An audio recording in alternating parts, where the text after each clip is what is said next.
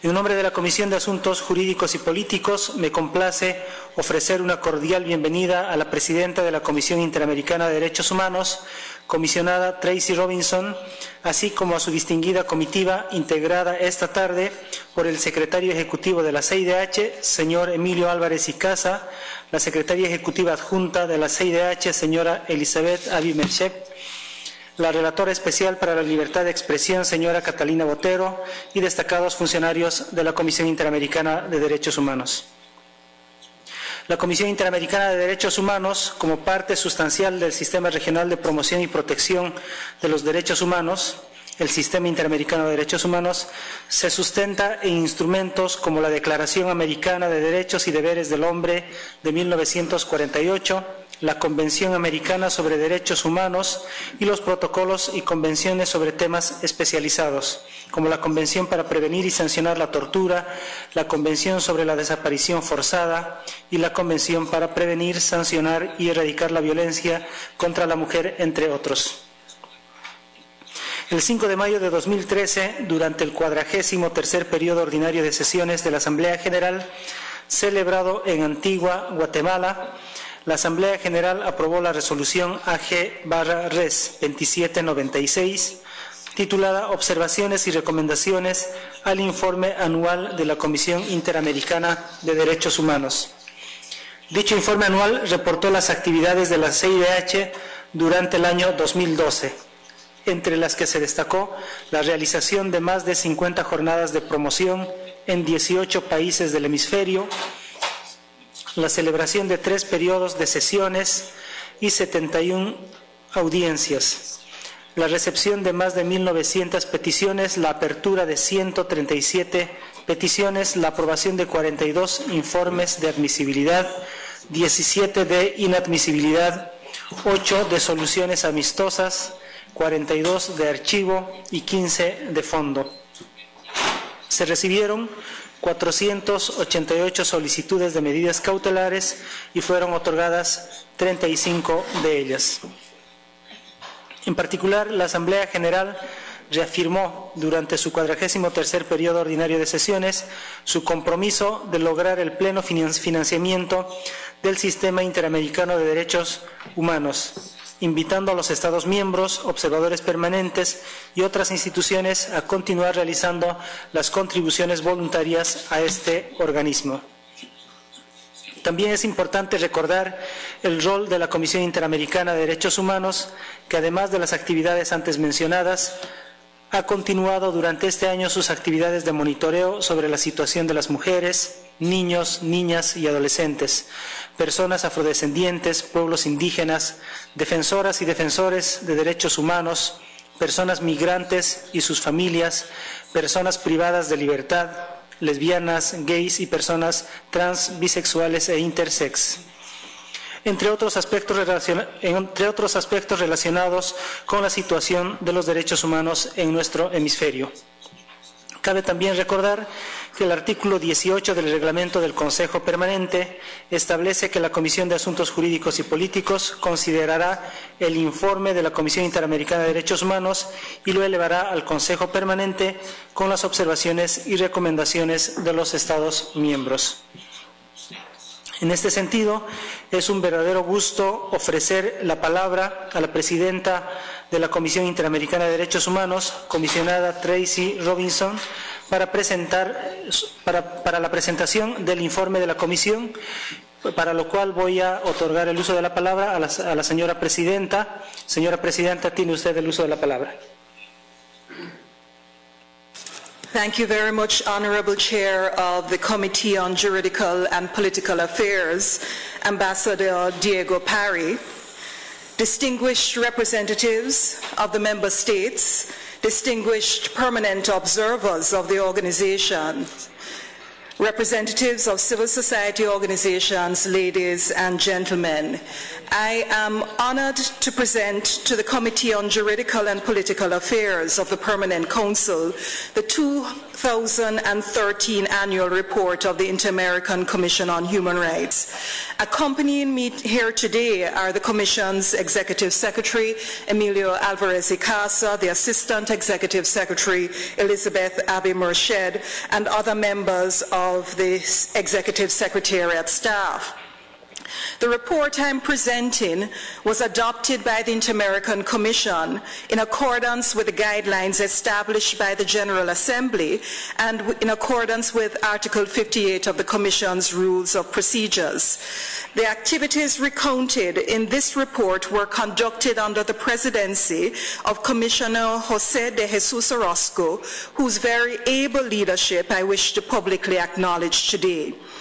On the Commission's behalf, I also would like to thank Commissioners Dinah Shelton and Rodrigo Escobar Hill, both very distinguished jurists, for the invaluable contributions that they made during their terms on the Commission, which ended in 2013. I also wish to acknowledge the professionalism and dedication to the promotion and protection of human rights of the Executive Secretary and all of the Secretariat staff. The independence and the autonomy of the Commission are essential to perform in its mission to promote and protect human rights in the American hemisphere. The Commission also recognizes the importance of transparency in performing those functions. The six chapters of the annual report are aimed at providing accessible, comprehensive and relevant information to all users of the system on our work and our resources. This report was also prepared within the context of the Commission's strategic plan, with its objectives to promote compliance with decisions, ensure accessibility to victims, to run the petition system with efficiency, to stay current on the human rights situation in the region, to respond to the needs of groups which have been historically marginalized, to promote human rights, to encourage universal ratification of regional human rights instruments, to publicize the work which we do, and procure the resources necessary to effectively discharge the mandate of the Commission. The annual report is not only a mechanism of accounting for what we do, it is a substantive report on the human rights situation in the Americas and an important way in which the Commission identifies and continues a conversation about best practices amongst member states and analyzes the regional challenges in the Americas. The annual report for 2013 is the first to be prepared under the guidelines of our reformed rules of procedure. These changed substantially on August 1, 2013. Those reforms took place in the context of an open and constructive dialogue and a strengthening process in relation to the inter-American human rights system from 2011 to 13, led by the Permanent Council and the Commission. The form, the scope, and the substance of this report reflect the breadth of the Commission's activities to protect and, and, promote human rights, but they also reflect change and development in the way the Commission carries out its mandate with limited resources. I wish to highlight a few key aspects of this year's report. Chapter 1 gives a broad overview of the Commission's activities as usual, but in Chapter 2, which looks at the petition and case system and precautionary measures, there's a major change. As you will recall, with the entry into force of the reforms to the Commission's rules of procedures in August 2013, the Commission began adopting reasoned resolutions explaining the criteria for granting, modifying, and lifting precautionary measures.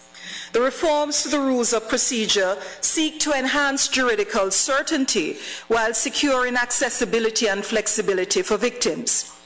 The reforms codify the objective criteria used by the Commission for granting precautionary measures, that of urgency, seriousness, and irreparability, and the resolution set out the parameters used by the Commission in determining these requisites of urgency, seriousness, and the irreparable nature of the specific case. Accordingly, for the first time, the summaries of the precautionary measures granted after August 2013 include a link to a full resolution prepared by the Commission. Secondly, Chapter 3 is new to the annual report. It's a chapter on the activities of the thematic rapporteurships, while Chapter 2 looks at protection through the case system and precautionary measures, Chapter 3 gives greater visibility to the ongoing work of the seven members of the Commission as rapporteurs throughout the region in relation to thematic reports, working and promotional visits, supervision of cases, requests for information, and recommendations to states and press releases. Chapter 4, for the first time, provides an annual overview of the human rights situation in the hemisphere. This is new to section, this is the new section 4A. Special reports on the situation in member states are found in section 4B. The section reflects the Commission's careful application of the criteria, methods, and procedures identified in the reformed rules of procedure. Implicit in the chapter is a new mechanism that allows the Commission to more diligently monitor the situation of a country listed in section 4B and to support efforts by that state to address that situation through an on-site visit and a report following that visit that makes recommendations for improvement. The new Chapter 5 is designed to address the follow-up to recommendations made in reports already adopted. Uh, this will include reports adopted following on-site visits, such as those I just mentioned. The Commission intended to follow up the report on the situation of human rights in Jamaica, which was adopted in August 2012 in this year's annual report, but it will in fact do so in the 2014 report to ensure it has the broadest information available and based on consultations conducted this year. I'd like to now turn briefly to Chapter 1. In recounting the Commission's activities during the three periods of sessions and the information received during the over 100 hearings held during those sessions, the report confirms the persistence of serious structural human rights problems in the region. The Commission received troubling information indicating that human rights defenders continue to be targets of murders, threats, and harassment, along with acts of violence at protest demonstrations and the criminalization of their activities. With regard to persons deprived of liberty, the Commission received information of the utmost concern on the excessive use of pretrial detention and the use of solitary confinement as well as on detention conditions in Cuba. The Commission continues to closely monitor the situation of detainees held by the United States at the Guantanamo Bay Naval Base facility. In the several hearings, the Commission received troubling information about the right to freedom of expression in various countries, attacks on journalists, laws that violate the right to freedom of expression, the lack of regulatory frameworks that recognize community radio stations, and the closure of media outlets through administrative or judicial procedures are some of the problems the Commission heard about during its sessions. In several thematic hearings, the Commission received troubling information about barriers to the exercise of economic, social, and cultural rights.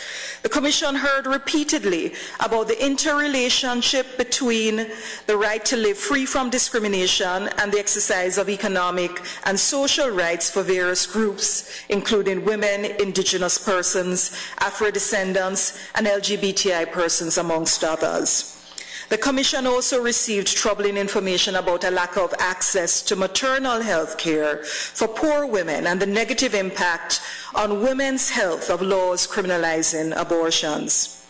During the 149th regular session, a number of new issues and challenges were raised during the hearings, including the use of unmanned drones in the region, communication surveillance carried out through the use of new technologies, the impact of transnational corporations and extractive industries in the enjoyment of human rights, and the responsibility of states that are bases for transnational mining companies in relation to the human rights effects of mining in the region. In 2013, for the first time in its history, the Inter-American Commission on Human Rights held a hearing requested by a group of states, Argentina, Brazil, Costa Rica, Ecuador, Mexico, Panama, and the Dominican Republic, and France as a permanent observer, called on those states in the region that have not yet abolished the death penalty to consider doing so, or to declare a moratorium as a step prior to abolition. Also, for the first time in the history of the Commission, a hearing provided simultaneous interpretation into sign language for hearing impaired and easy to read text for persons with intellectual disabilities. The Commission is committed to striving to increase access to hearings for persons with disabilities. Chapter 1 also recounts the working visits conducted by one or more members of the Commission. In that sense, the Commission visited Suriname, Argentina, Honduras, Canada, and Guatemala.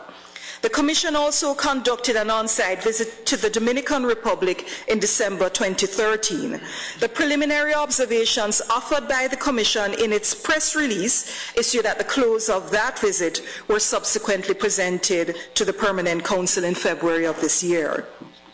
In December 2013, the Commission adopted its report on truth, justice, and reparation, a fourth report on the situation of human rights in Colombia.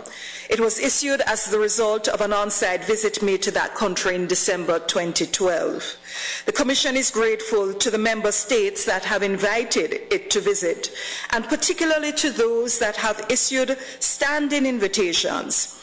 These visits serve a vital function in the Commission's mission of promoting and protecting human rights in the hemisphere.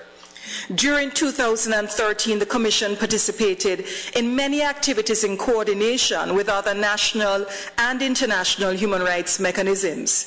In the report, we recount nearly 40 such activities in 2013 with, among others, OAS bodies, UN agencies, UN special rapporteurs, and other regional systems. I wish to draw attention to two events held by the Commission regarding the friendly settlement mechanism, which is a valuable way of resolving human rights violations with the full participation of victims and a measure or a way of securing non-repetition. One is the first Inter-American Conference on Human Rights and the exchange of best practices on friendly settlements held in Antigua, Guatemala last year in June, and the other is the first national seminar on friendly settlement mechanism held in Mexico City in October last year. Chapter 2 which I'd like to turn to, is the most extensive chapter because of the very detailed information it provides on the Commission's decisions on complaints of human rights violations in member states and on precautionary measures. The wealth of information in this chapter demonstrates the overwhelming size of the Commission's portfolio. In 2013, the Commission received and registered over 2,000 petitions, the largest number in the last decade. The Commission continues to dedicate great attention to the need to shorten the initial evaluation period and to prioritize the first reply to a petitioner and, where relevant, notification to the state concerned. Of the petitions received in 2013, 17% were accepted for processing and 83% were not accepted for processing. This report indicates also that the Commission has approximately 1,753 cases in admissibility and merits phases at the end of 2013. The second part of the report contains of that chapter contains all the reports adopted in 2013. That is a total of 111 reports that include 44 admissibility, 9 inadmissibility, 6 reports on friendly settlements, 38 decisions to archive, 3 merits reports, in addition to the 11 cases that are presented to or were presented to the Inter-American Court on Human Rights during the year. During 2013, the Commission received 400 requests for precautionary measures.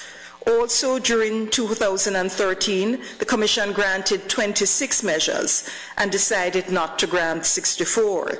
In 255 instances, the Commission requested information from petitioners, and in 59 requested information from states concerned in order to make its decision. The analysis in Chapter 2D of the state's compliance with recommendations contained in re the reports on individual cases has been published in the annual report since 2000. Approximately 62% of these cases met the Commission's criteria of partial compliance, while only 18% of the cases could be said to, to have been in full compliance with the recommendations. Compliance with the decisions of the Commission is fundamental. In Chapter 4 of this report, the Commission notes the effect that specific implementation measures tend to have in improving state compliance with the decisions of inter-American human rights bodies. The Commission encourages states to adopt and develop implementation mechanisms to more specifically address their compliance with measures related to non-repetition, investigation and punishment of those responsible for human rights violations, areas where there tends to be less effective compliance than with monetary recommendations. To turn to chapter 3 of the annual report, here we see an important new addition, outlining as it does the activities undertaken in 2013 by the seven members of the Commission across nine thematic areas. During 2013, commissioners and or staff members visited half of the member states of the OAS, Argentina, Brazil, Canada, Chile, Colombia, Costa Rica, Dominican Republic, El Salvador, Guatemala, Haiti, Honduras, Jamaica, Mexico, Panama, Peru, Suriname, the United States, and Uruguay. Rapporteurs, as you can see from the report, participated in many regional promotional activities with attendance from an even wider cross-section of, with, with an even wider cross-section of nationals from member states. These visits facilitate the promotion of inter-American human rights standards. They provide opportunities to monitor specific situations. They enable dialogue and cooperation with victims, civil society, member states, and international organizations. Both protection and promotion are integrated mandates for the work of the Commission.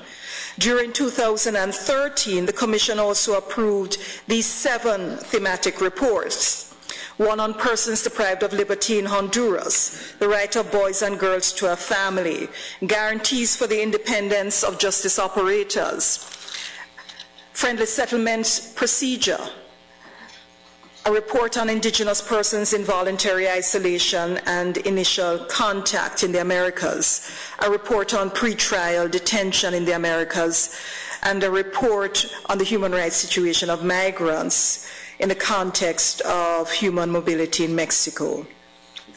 To turn to chapter 4, here the chapter reflects the significant changes made through the 2013 reform of the rules of procedures and practices of the Commission. In the first part of this section, which provides an overview of the human rights situation, that section is derived from the Commission's monitoring work and it lists all the 103 press releases and 48 requests for information issued by the Commission over the course of 2013. Secondly, Chapter 4A spots, spotlights four issues of concern in the hemisphere in 2013.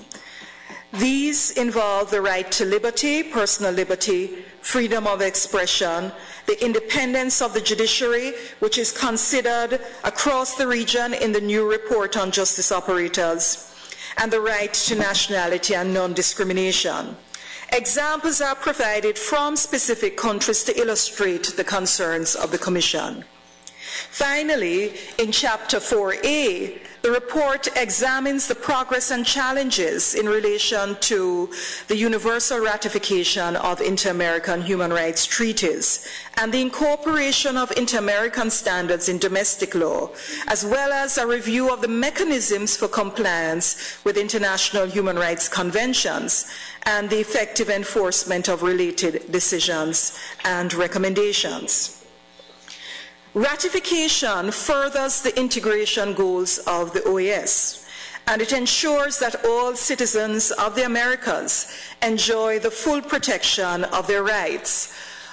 On the 30th of August 2013, the Commission published a questionnaire for the purpose of obtaining inputs from the users of the Inter-American Human Rights System. And I take this opportunity to thank the nine member states that submitted their observations, Argentina, Colombia, Costa Rica, Guatemala, Honduras, Jamaica, Mexico, Suriname, and Uruguay, as well as those non-governmental organizations, representatives of the offices of human rights ombuds, as well as other state entities whose mandate include the defense of human rights, scholars and individuals who all presented a total of 38 reports. The Commission notes that several constitutional and Supreme Courts have been instrumental in accommodating domestic legislation to the state's international obligations in the area of human rights. However, over the course of the year, the Commission has observed a number of setbacks related to the conventionality control of the legal effects of provisions that obstruct the investigation of serious human rights violations in some countries in the region. The Commission calls on member states to take the necessary legislative and judicial measures to ensure that their authorities do not allow such serious human rights violations to go unpunished and practice proper conventionality control of any domestic laws that pose obstacles to the observance of the state's international obligations in that regard.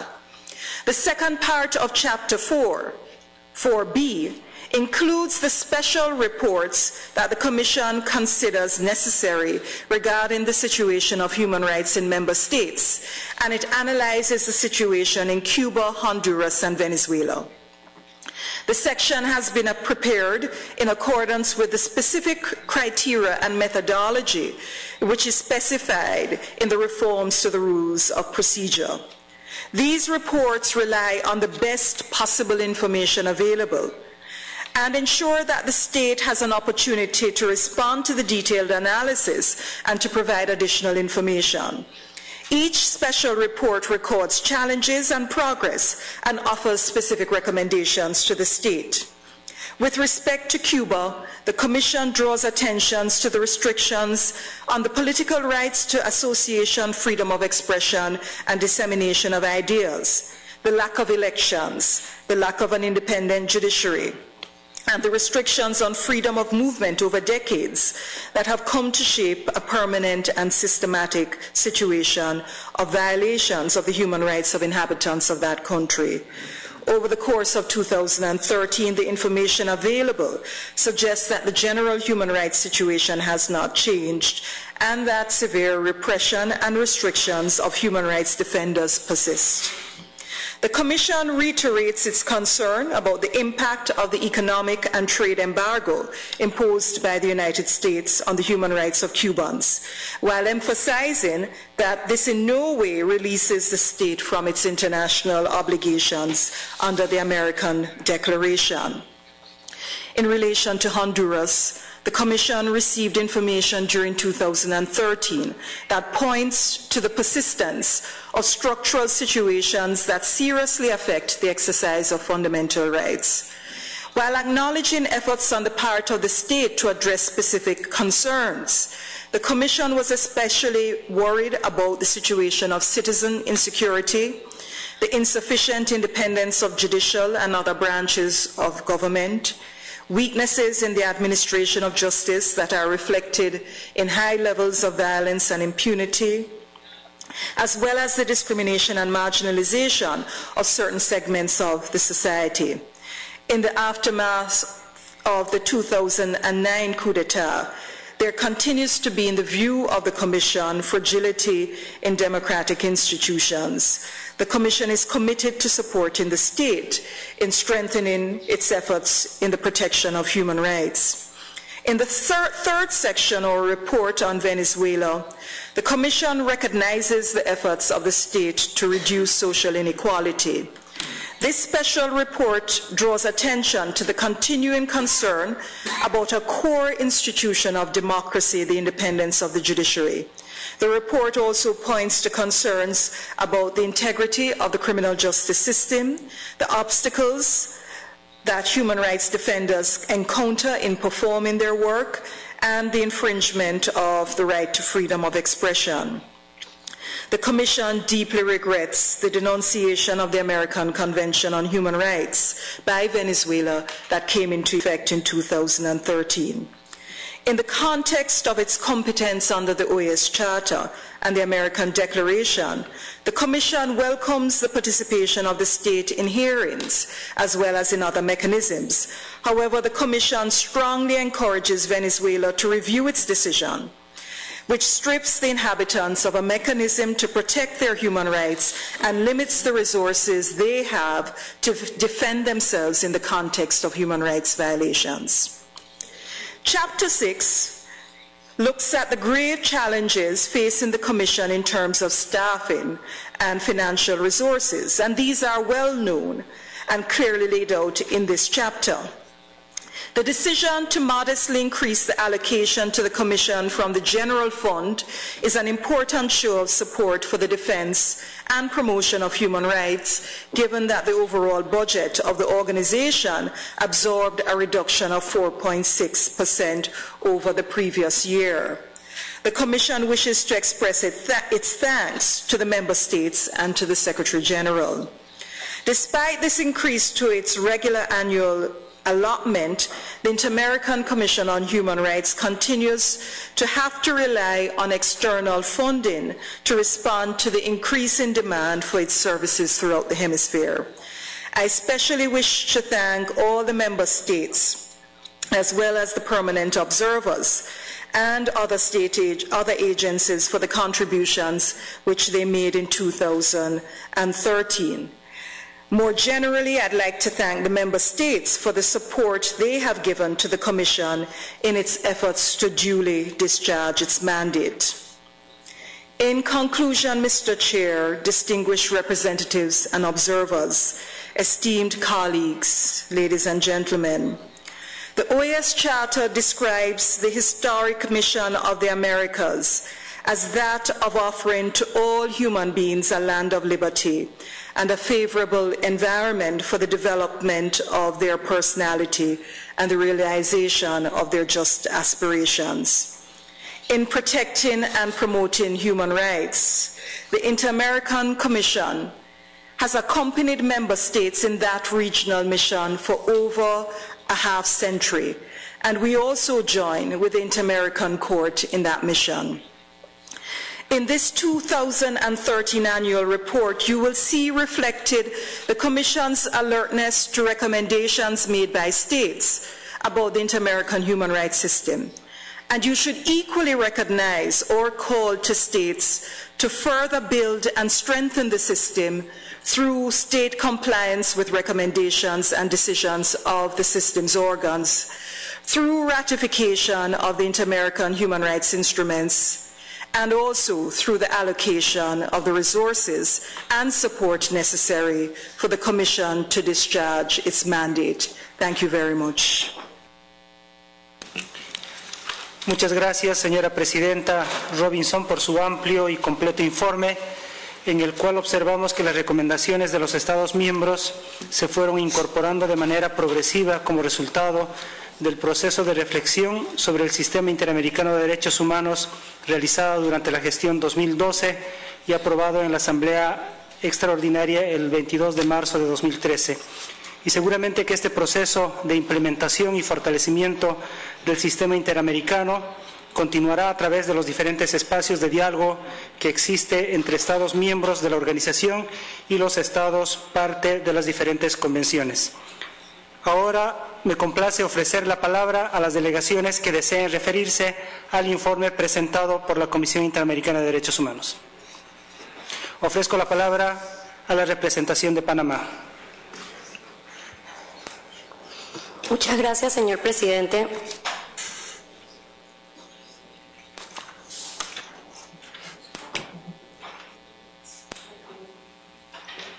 Panamá, por favor.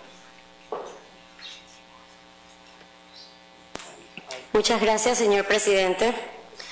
La República de Panamá se complace en dirigirse en la tarde de hoy a la Honorable Comisión Interamericana de Derechos Humanos y saludar a la señora comisionada presidenta Tracy Robinson, al señor secretario ejecutivo, doctor Emilio Álvarez de Icaza, así como al personal presente de la CIDH que se encuentra convocado en esta sesión especial de la Comisión de Asuntos Jurídicos y Políticos en la tarde de hoy.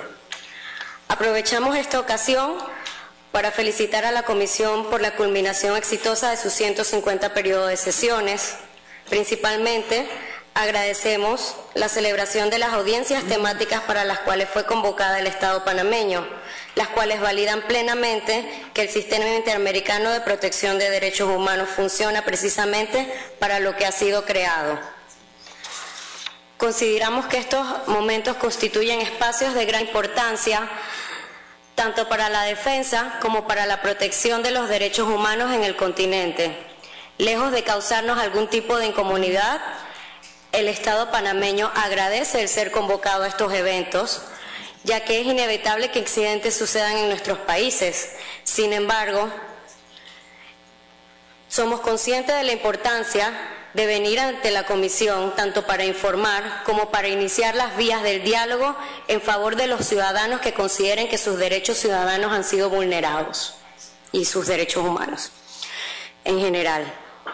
Señor presidente, no podemos dejar de manifestar nuestra satisfacción, ya que en este periodo de sesiones tuvimos fructíferas reuniones de trabajo bajo la dirección de la Unidad de Soluciones Amistosas, de procesos emblemáticos que seguro sentarán un gran precedente de negociación para el sistema interamericano.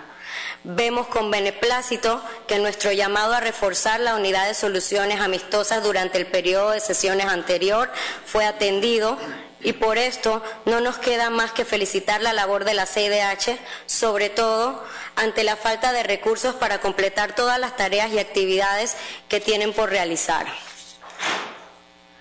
Agradecemos la presentación del informe anual y como es de costumbre en estos últimos años, agradecemos que el informe se nos presente en un formato sumamente versátil que facilite la lectura de las actividades realizadas.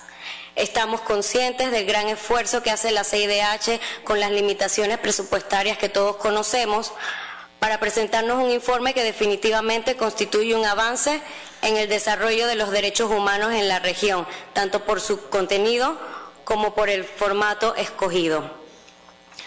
También queremos felicitar a la CIDH por las numerosas visitas in loco que realizaron a, a Panamá, entre otros países, especialmente a la Relatoría de Privados de la Libertad y a la Relatoría de Libertad de Expresión, que realizaron trabajos de promoción y monitoreo sobre la situación de derechos humanos en Panamá, lo cual nos permite siempre mejorar nuestros sistemas.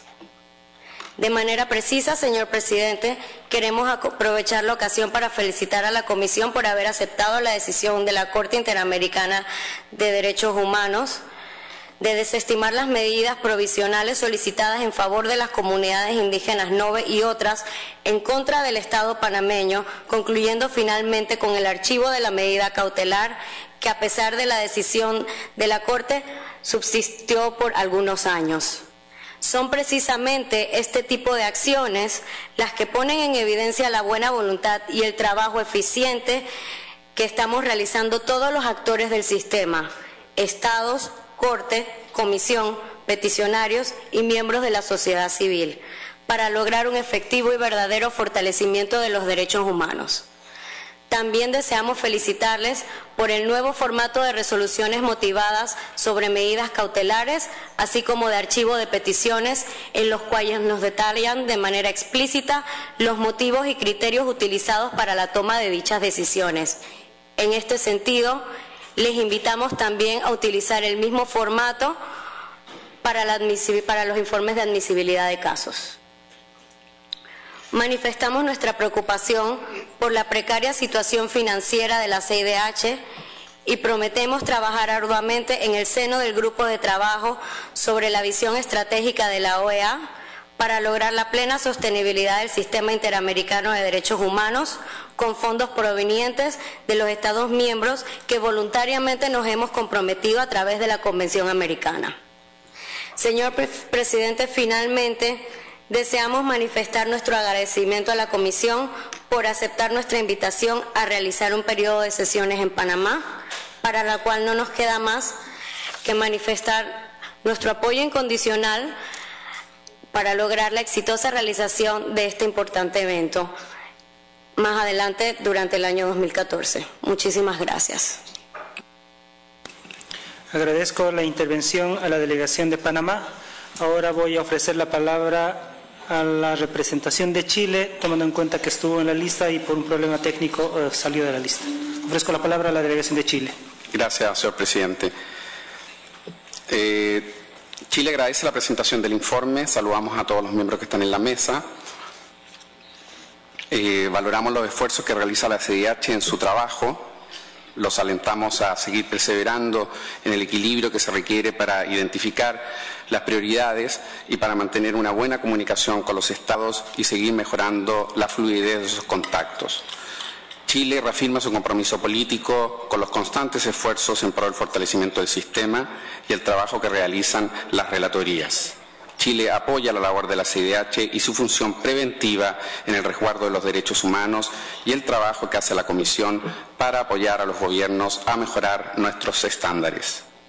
Tenemos la convicción que el diálogo permanente e incluyente con todos los actores y usuarios del sistema es la única vía para avanzar en el fortalecimiento del sistema y enfrentar los retos correspondientes a la universalización y al trabajo de las relatorías.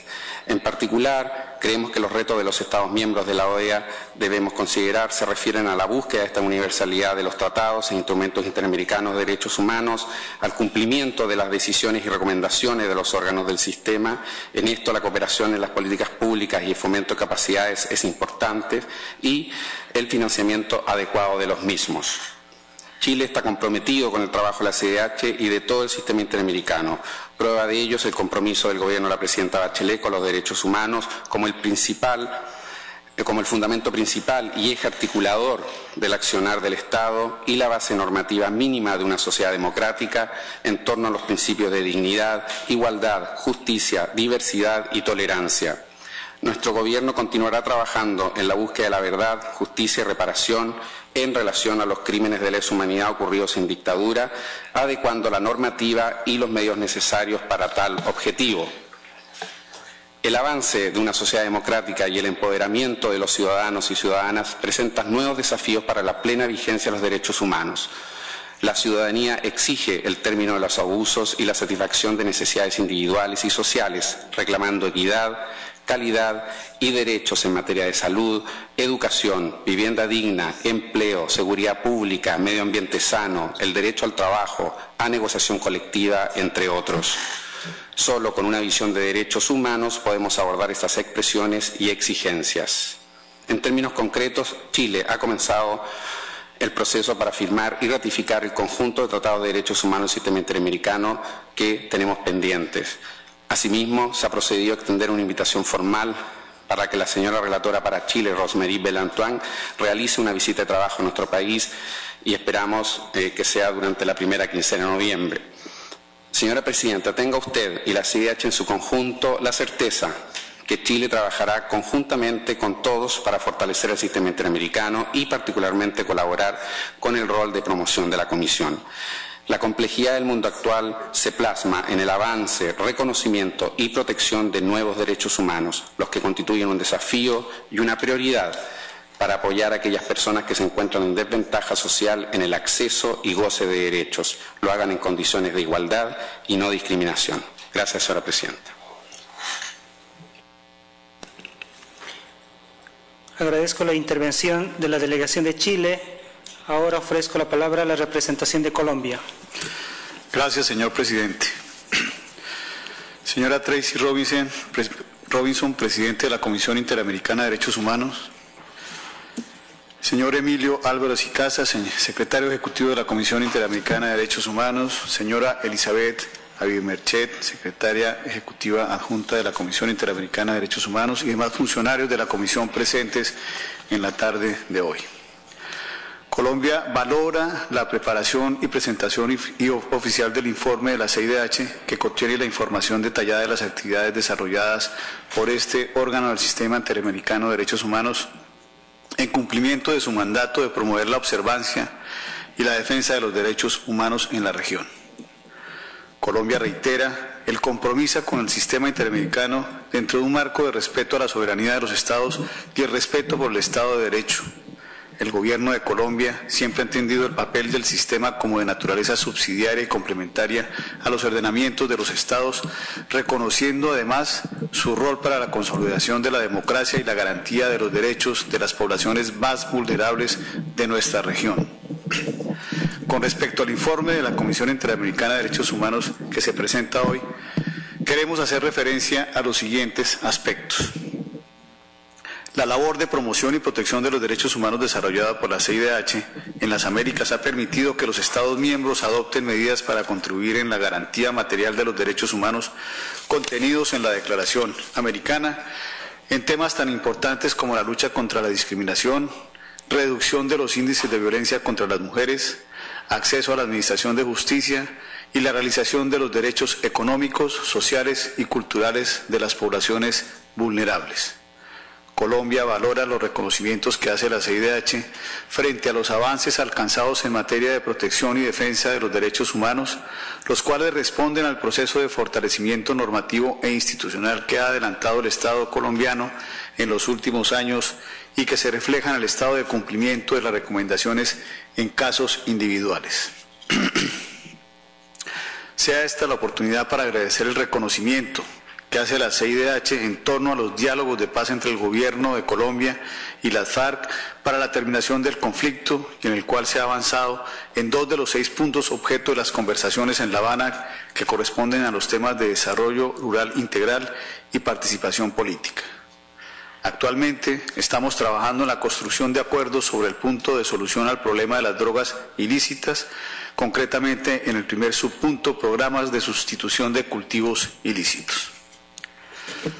Colombia desea resaltar las actividades emprendidas por la CIDH para la promoción de los derechos y libertades fundamentales a través de la difusión de tres informes temáticos referentes a los derechos de los niños y niñas a la familia, la garantía para la independencia de las y los operadores de justicia y sobre el uso de la prisión preventiva en las Américas, así como la adopción de la Relatoría sobre los derechos de la comunidad LGTBI. Acciones que en su conjunto demuestran el compromiso de la Comisión por fortalecer y reforzar su labor en la protección, promoción y monitoreo de los derechos humanos en la región.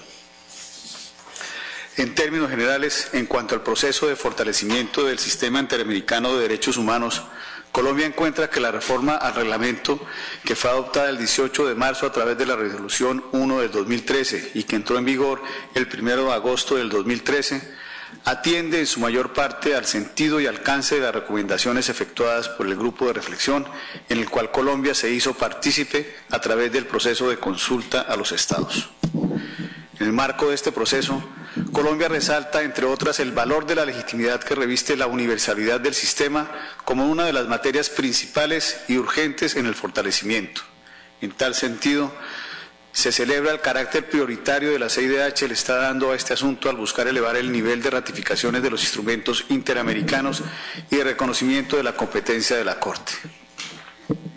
Colombia quiere aprovechar esta oportunidad, así como lo hizo en su momento ante el informe presentado por la Corte Interamericana de Derechos Humanos, de que hay que fortalecer financieramente el sistema interamericano de derechos humanos. Queremos destacar los aportes efectuados por Colombia en el año 2013. De esa manera queremos nosotros invitar a los demás estados a aumentar sus contribuciones dirigidas al fortalecimiento del sistema interamericano de derechos humanos. Reiteramos Para Colombia es insostenible a largo plazo un sistema financiado principalmente por contribuciones voluntarias y lo que aún es más contradictorio por contribuciones extrarregionales. Muchas gracias, señor presidente. Agradezco la intervención de Colombia. Ofrezco la palabra a la representación de Haití. Merci, Monsieur le Président. Monsieur le Président, pour votre entremise, je voudrais tout d'abord présenter les félicitations de mon gouvernement, aussi de la délégation haïtienne, à la commissaire Tracy Robinson euh, pour son élection comme présidente de la Commission interaméricaine des droits de l'homme. Je voudrais aussi la remercier pour son rapport détaillé et clair, simple, qu'elle nous a présenté aujourd'hui des activités de la Commission. Mon gouvernement croit fermement dans la neutralité de la Commission et réitère son soutien indéfectible pour son indépendance. Ma délégation continue de soutenir la Commission pour être l'organe protecteur des droits de, l'homme de nos citoyens. Monsieur le Président, je voudrais aussi attirer l'attention de la présidente et aussi de notre distingué secrétaire exécutif sur la nécessité de continuer avec la collaboration de la Commission et les différentes universités de la région de la Caraïbe. En ce qui a trait à la réduction des fonctionnaires ou la question de staff, ma délégation réitère toujours de la nécessité de voir la Commission à son niveau s'efforcer pour avoir une certaine représentation beaucoup plus soutenue de la Caraïbe au sein de la Commission, en ce qui a trait au niveau des avocats, des défenseurs, et nous estimons ça aurait été un apport considérable à la Commission. Si je veux me référer à la charte présentée, sur le total de 27 avocats à l'intérieur de la Commission, je doute fort qu'il y ait deux ou trois avocats caribéens. C'est pourquoi que ma délégation, cette question est très chère pour nous et nous espérons que, à votre niveau, vous allez pouvoir évaluer et travailler en ce sens pour incorporer beaucoup plus d'avocats provenant de la région de la Caraïbe. Pour finir, Monsieur le Président, ma délégation réitère encore une fois son soutien indéfectible à la Commission interaméricaine des droits de l'homme, outil important et nécessaire dans le système interaméricain de protection des droits humains. Merci, Monsieur le Président.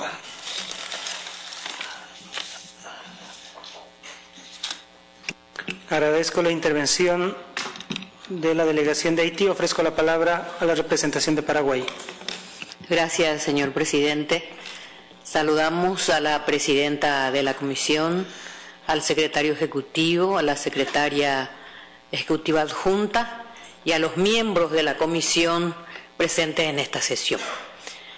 La delegación de Paraguay agradece la presentación sobre el informe de la Comisión Interamericana de Derechos Humanos, cuyo contenido evidencia que se trata de una institución que permite una vigorosa y eficaz defensa de los derechos humanos de la ciudadanía de nuestros pueblos. El reconocimiento de esa ciudadanía y su confianza en el mecanismo regional y en la labor cumplida se demuestra por medio del creciente número de peticiones. En esta materia, el Paraguay se encuentra profundamente comprometido con el cumplimiento de las obligaciones internacionales que emanan de los instrumentos convencionales de derechos humanos, del sistema universal y del sistema interamericano y les otorga un destacado lugar en su agenda internacional. En tal sentido, mi país ha presentado su aspiración de integrar el Consejo de Derechos Humanos de las Naciones Unidas no como un privilegio, sino en el entendimiento de la responsabilidad que ha asumido en materia de derechos humanos. Es por ello que reiteramos nuestro apoyo a uno de los pilares del sistema interamericano, componente juntamente con la democracia del Estado de Derecho. Mi delegación sostiene la necesidad de fortalecer sus órganos con los necesarios recursos financieros mediante un incremento de, los que les son asignados del fondo regular de acuerdo a sus necesidades y prioridades y no depender del financiamiento externo. Gracias, señor presidente. Agradezco la intervención de Paraguay. Ofrezco la palabra a la representación de Ecuador. Gracias, señor presidente. El Ecuador quisiera reiterar los saludos a la presidenta de la Comisión Interamericana, la comisionada Tracy Robinson, y por su intermedio a los demás comisionados y comisionadas, a los funcionarios, y un especial saludo al secretario ejecutivo por todo el esfuerzo que se encuentra desplegando. Una vez más me permito destacar que el Ecuador busca el fortalecimiento del sistema interamericano de derechos humanos desde una reestructuración que atienda las verdaderas necesidades y sobre todo las nuevas realidades de los países del hemisferio, mismos que realizan enormes esfuerzos para promover, proteger y ampliar los derechos humanos de sus ciudadanos.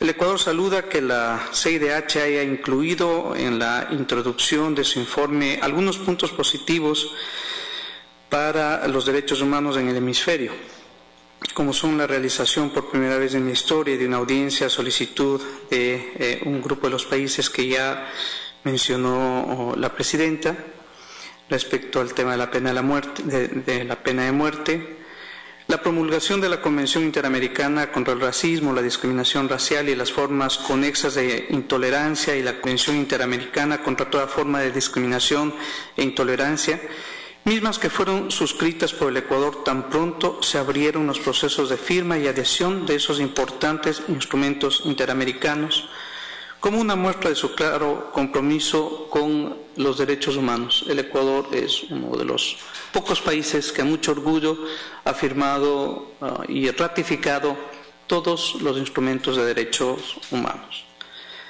Del mismo modo, Ecuador saluda que el informe de la CIDH destaque el reconocimiento realizado por el Programa de Naciones Unidas para el Desarrollo al Estado ecuatoriano por el crecimiento sostenido del índice de desarrollo humano alcanzado durante el año 2012-2013, que lo sitúa en el tercer puesto en América Latina y el Caribe. Además, el informe reconoce las medidas adoptadas por el Ecuador desde la aprobación de la Constitución del año 2008, que han hecho posible el ejercicio del derecho al voto a las personas que se encuentran en prisión preventiva y que se ha venido implementando en los últimos procesos electorales en mi país. Sin embargo, señor presidente, si bien el informe reconoce algunos de los avances en materia de derechos humanos, Ecuador considera que esta información aún está incompleta, ya que no refleja en su real dimensión los esfuerzos que todos y cada uno de los estados del hemisferio estamos realizando en pro de los derechos humanos especialmente los realizados por mi país, para asegurar la protección de los derechos de los ciudadanos y ciudadanas. Más aún cuando esta información, a pesar de ser muy importante, aparece tratada de manera marginal en la introducción del informe anual de la CIDH y no contribuye a la promoción de los derechos humanos y a las buenas prácticas de los Estados. No entiendo cómo, por ejemplo, la CIDH no reconoce los avances que el Ecuador ha tenido para incluir en la práctica del ejercicio democrático a personas con discapacidad, a miembros de Fuerzas Armadas y Policía, a las personas en situación de movilidad humana que se encuentran fuera de nuestro país y a los extranjeros residentes en el Ecuador. Por poner un ejemplo, Esta situación todavía más grave es todavía más grave, ya que en el apartado referido al panorama de la situación de derechos humanos en el hemisferio, que debería incluir un balance entre los avances y desafíos de los Estados americanos en la protección de los derechos humanos, aparecen referencias críticas únicamente a tres estados, entre los cuales está el Ecuador. ¿Cómo se puede explicar esto si los informes, las estadísticas y la propia realidad demuestran que el Ecuador no se encuentra entre uno de los mayores usuarios del sistema interamericano de derechos humanos? De hecho, puedo afirmar con mucho orgullo que somos un modelo de cumplimiento de garantías en el desarrollo y aplicación de nuevos derechos sociales y económicos según varias organizaciones internacionales, incluyendo Naciones Unidas.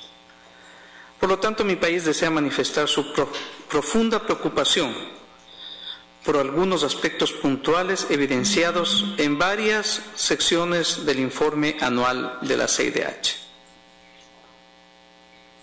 A pesar del esfuerzo realizado en el año 2013 por asignar recursos económicos de forma más ecuánime, sigue resultando alarmante el cada vez más escaso espacio que tienen las relatorías de unidades temáticas dentro del informe total de la CIDH dando lugar a una ausencia de equilibrio en el mismo. Este aspecto, sin lugar a dudas, está relacionado con el desequilibrio que aún es profundo en el financiamiento de las relatorías y afecta directamente a la indivisibilidad e interdependencia de los derechos humanos, tal como ya lo ha señalado el Ecuador en distintas oportunidades. Resulta perturbador que la CIDH insista en priorizar el tratamiento de un solo derecho por sobre los demás. El informe del año 2013 refleja esta situación, ya que lamentablemente la, la, Relatoría para la Libertad de Expresión ha presentado un anexo compuesto por 634 páginas, mientras que, y cito a manera de ejemplo, el texto de la relatoría sobre pueblos indígenas consta de tres páginas. La relatoría sobre derecho de las mujeres, dos páginas. El derecho de los la relatoría sobre el derecho de los migrantes, aproximadamente a tres páginas. La relatoría del derecho de la niñez, tres páginas. La relatoría sobre defensores de derechos humanos, casi tres páginas. La relatoría de las personas privadas de la libertad, únicamente dos páginas. El de la Relatoría sobre los derechos de los afrodescendientes y contra la discriminación racial únicamente está compuesto de dos páginas.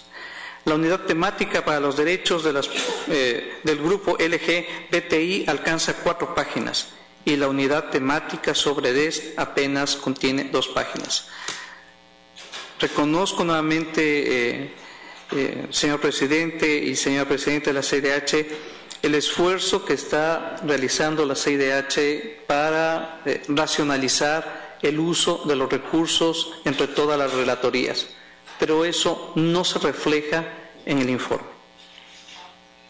No existe ninguna explicación para la división y priorización de derechos que hace la Comisión. Si entendemos y aceptamos que los derechos son indivisibles, debemos entonces confirmar que el informe no refleja, que el informe refleja una realidad muy distinta.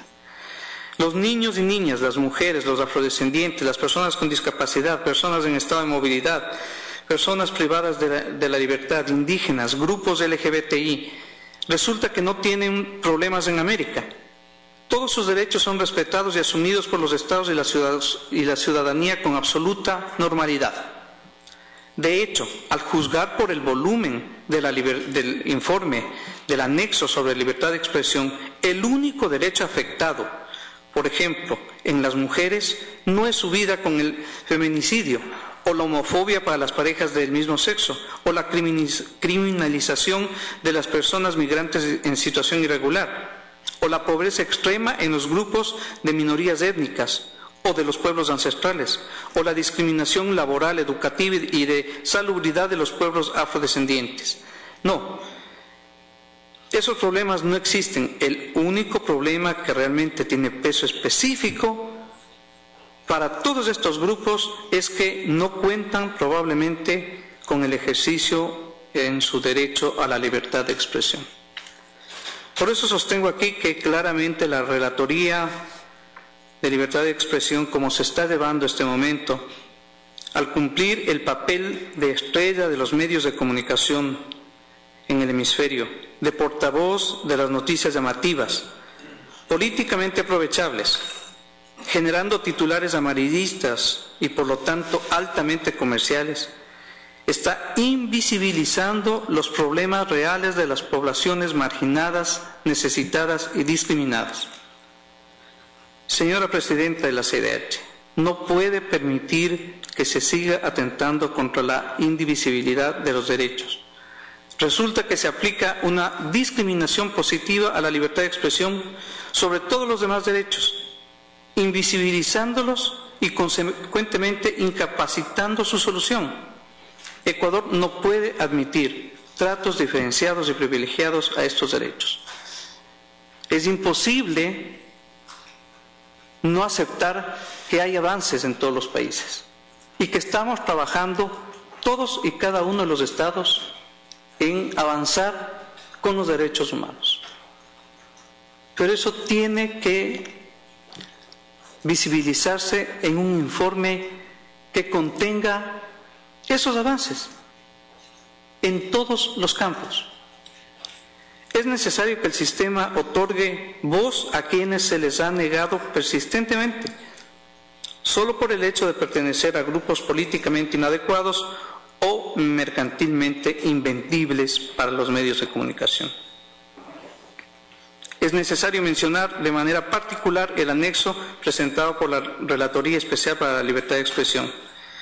Quisiéramos manifestar nuestra preocupación y molestia sobre la extensión del documento y las 34 páginas que la relatora dedica a nuestro país, rebasando sus facultades, competencias convencionales y estatutarias. El Ecuador desea manifestar una vez más su posición crítica por la discrecionalidad en el manejo de la información y sesgos demostrados en la elaboración del informe de la Relatoría Especial para la Libertad de Expresión que forman parte del informe anual de la CIDH. Cabe destacar que debido a la cantidad de imprecisiones evidenciadas en las 634 páginas del informe de esta relatoría, el Estado ecuatoriano ha elaborado una aclaración pormenorizada de cada una de las erradas interpretaciones que ha realizado la misma con respecto al Ecuador y tal como hiciera el año anterior, las entregará por escrito a la Comisión y a todos los Estados miembros con la petición expresa de que la CIDH rectifique el contenido de este informe preliminar. Me permito también hacer mención nuevamente al capítulo cuarto del informe de la CIDH, Desarrollo de los Derechos Humanos en la región. En la sección A, Panorama de la situación de derechos humanos en el hemisferio, apartado en el que se omiten deliberadamente referencias a los progresos realizados por mi país y que por el contrario, una vez más, se otorga un espacio adicional para reiterar los erróneos argumentos expuestos por la Relatoría Especial para la Libertad de Expresión en su propio informe. Este espacio es utilizado para esgrimir argumentos poco sólidos en los apartados sobre la Ley Orgánica de Comunicación del Ecuador las supuestas declaraciones estigmatizantes, medios públicos y cadenas presidenciales y las supuestas amenazas y agresiones. Debo indicar que, todo, que toda esta información ha sido reiteradamente desmentida por el Ecuador. Y sin embargo, el informe de la CIDH vuelve a incorporar datos que no han sido contrastados y los presenta de una, de una manera sesgada y tendenciosa. Ha pasado ya muchos meses desde la aprobación de la ley de comunicación y no solamente que se ha demostrado que sirve para la protección de los ciudadanos, sino para la protección de los periodistas. Y de hecho, muchos periodistas ya han obtenido ese beneficio de protección de sus derechos laborales y humanos con la ley de comunicación. La fijación elocuente que la relatora ha demostrado para con el presidente Rafael Correa y para con nuestro país reviste características alarmantes que le han hecho perder su profesionalismo, ecuanimidad y sabiduría. Para el pueblo ecuatoriano, muy lejos ha quedado la respetada catedrática que era un referente de la lucha por los derechos humanos en su país y en América Latina.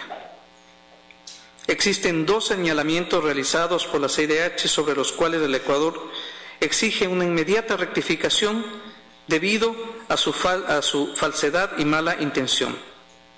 Señora Presidenta, el Ecuador solicita la inmediata eliminación de estos dos puntos del informe por, su evidencia, eh, por su evidente falencia de forma y de fondo, ya que, ya que esta información es tendenciosa y debilita al sistema interamericano en su conjunto. Primero, el informe al referirse sobre las responsabilidades ulteriores señala que la Comisión Interamericana ha recibido información sobre la existencia de varios procesos judiciales contra periodistas, comunicadores y ciudadanos por la manifestación de expresiones u opiniones que altos eh, funcionarios públicos habrían considerado ofensivos o calumniosos. Por ejemplo, el 16 de abril del año 2013, la Corte Nacional de Justicia, sala especializada de lo penal, condenó a prisión al asambleísta del movimiento político Pachacute y dos de sus asesores por injurias contra el presidente Rafael Correa. El juicio se originó no en una opinión, el juicio se originó en una denuncia presentada con firma de abogado ante la Fiscalía que fue tramitada durante ocho meses y que recibió el trato procesal justo equitativo y ceñido a las normas vigentes y a los estándares internacionales. Resulta incomprensible que la CIDH, con fundamento en los criterios de la Relatora Especial para la Libertad de Expresión, intente equiparar el, el, derecho a la libertad de expresión como una facultad para influir en el sistema judicial y modificar una decisión soberana tomada en derecho por el más alto Tribunal de Justicia del Estado ecuatoriano. Tal como lo señala el mismo informe de la Comisión, la denuncia penal realizada por los señores Jiménez Villavicencio y Figueroa fue declarada por la justicia luego de una extensa y prolija investigación como denuncia temeraria y maliciosa. No pudieron probar en ocho meses una sola de las aseveraciones que pusieron en una demanda penal firmada por, por abogado. Y por tanto, nada tiene que ver con el derecho a la libertad de expresión. Para el Estado ecuatoriano resulta curioso que la CIDH permite este tipo de extrapolaciones en sus informes que atentan contra la protección de los derechos humanos. ¿Cuál es la línea que divide la dignidad de las personas con la libertad de expresión? ¿Cuáles son los estándares internacionales que establece la CIDH y la relatora para la dignidad de las personas. ¿Hasta dónde llega esa dignidad entre los seres humanos clasificados como funcionarios públicos o no? ¿Cuál es la diferencia entre la crítica y una acusación penal por asesinato? Segundo, el informe de la CDH cuestiona la independencia del Poder Judicial en el Ecuador al señalar que durante el año 2013 la Comisión ha recibido información sobre situaciones que pudieran afectar la independencia e imparcialidad de los operadores de justicia en la, región. Con relación al Ecuador, la CDH ha monitoreado el proceso de reestructuración del Poder Judicial iniciado en el 2011 y al respecto, en el mes de enero del 2013, el Consejo de la Judicatura en Transición, organismo encargado de la Administración del Poder Judicial, y que se integraría por un delegado designado por el presidente, otro por la Asamblea Nacional y otro por la función de transparencia, culminó oficialmente su mandato.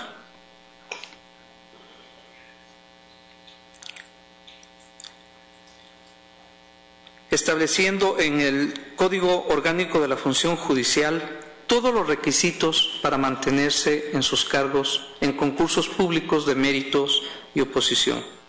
En este contexto, la CDH recibió información sobre injerencia que los titulares de los poderes ejecutivos pudieron haber ejercido sobre el Poder Judicial a través del control de la Administración de Justicia. El Estado ecuatoriano rechaza enfáticamente este tipo de aseveraciones que intentan desacreditar el sistema de justicia nacional, que por otra parte contrasta con los organismos internacionales que han pedido apoyo al Ecuador como modelo de, nueva administración de justicia para ser aplicado en tres continentes. El Estado ecuatoriano rechaza enfáticamente este tipo de aseveraciones que intentan desacreditar el sistema de justicia nacional. Mi país ha advertido en múltiples ocasiones a la comunidad internacional del intento de varios poderes fácticos que afrontan procesos legales en el Ecuador de deslegitimar la justicia ecuatoriana y eludir sus responsabilidades civiles y penales. Por lo que resulta lamentable que la Comisión Interamericana de Derechos Humanos acoja sus argumentos y los legitime, como si la, como si la Comisión apoyase esos intereses, cosa que desde luego creemos que no es así. Mientras que en otros organismos, como la propia Naciones Unidas, es objeto de estudio y admiración el sistema de reforma y profesionalización de la justicia en el Ecuador, por lo menos nos es llamativo que los argumentos utilizados sobre la falta de independencia de la función judicial por la CIDH concuerden con los mismos argumentos que la empresa Chevron Texaco está utilizando contra el Estado ecuatoriano. Adicionalmente, el Ecuador desea llamar la atención sobre la aparente confusión que la Comisión, al mencionar en su capítulo 1, actividades de la CIDH, en el 2013, sección 3, actividades de la CIDH en relación con la Corte Interamericana de Derechos Humanos, punto 1, sometimiento de casos contenciosos, literal C, en el que se lee caso Granier y otros, RCTV, contra el Estado ecuatoriano, sometido el 28 de febrero del 2013, confunden el nombre de la República del Ecuador con el de la República Bolivariana de Venezuela, en donde al parecer se habría desarrollado esos hechos, los arriba mencionados. Es una pena, señor presidente y señora presidenta,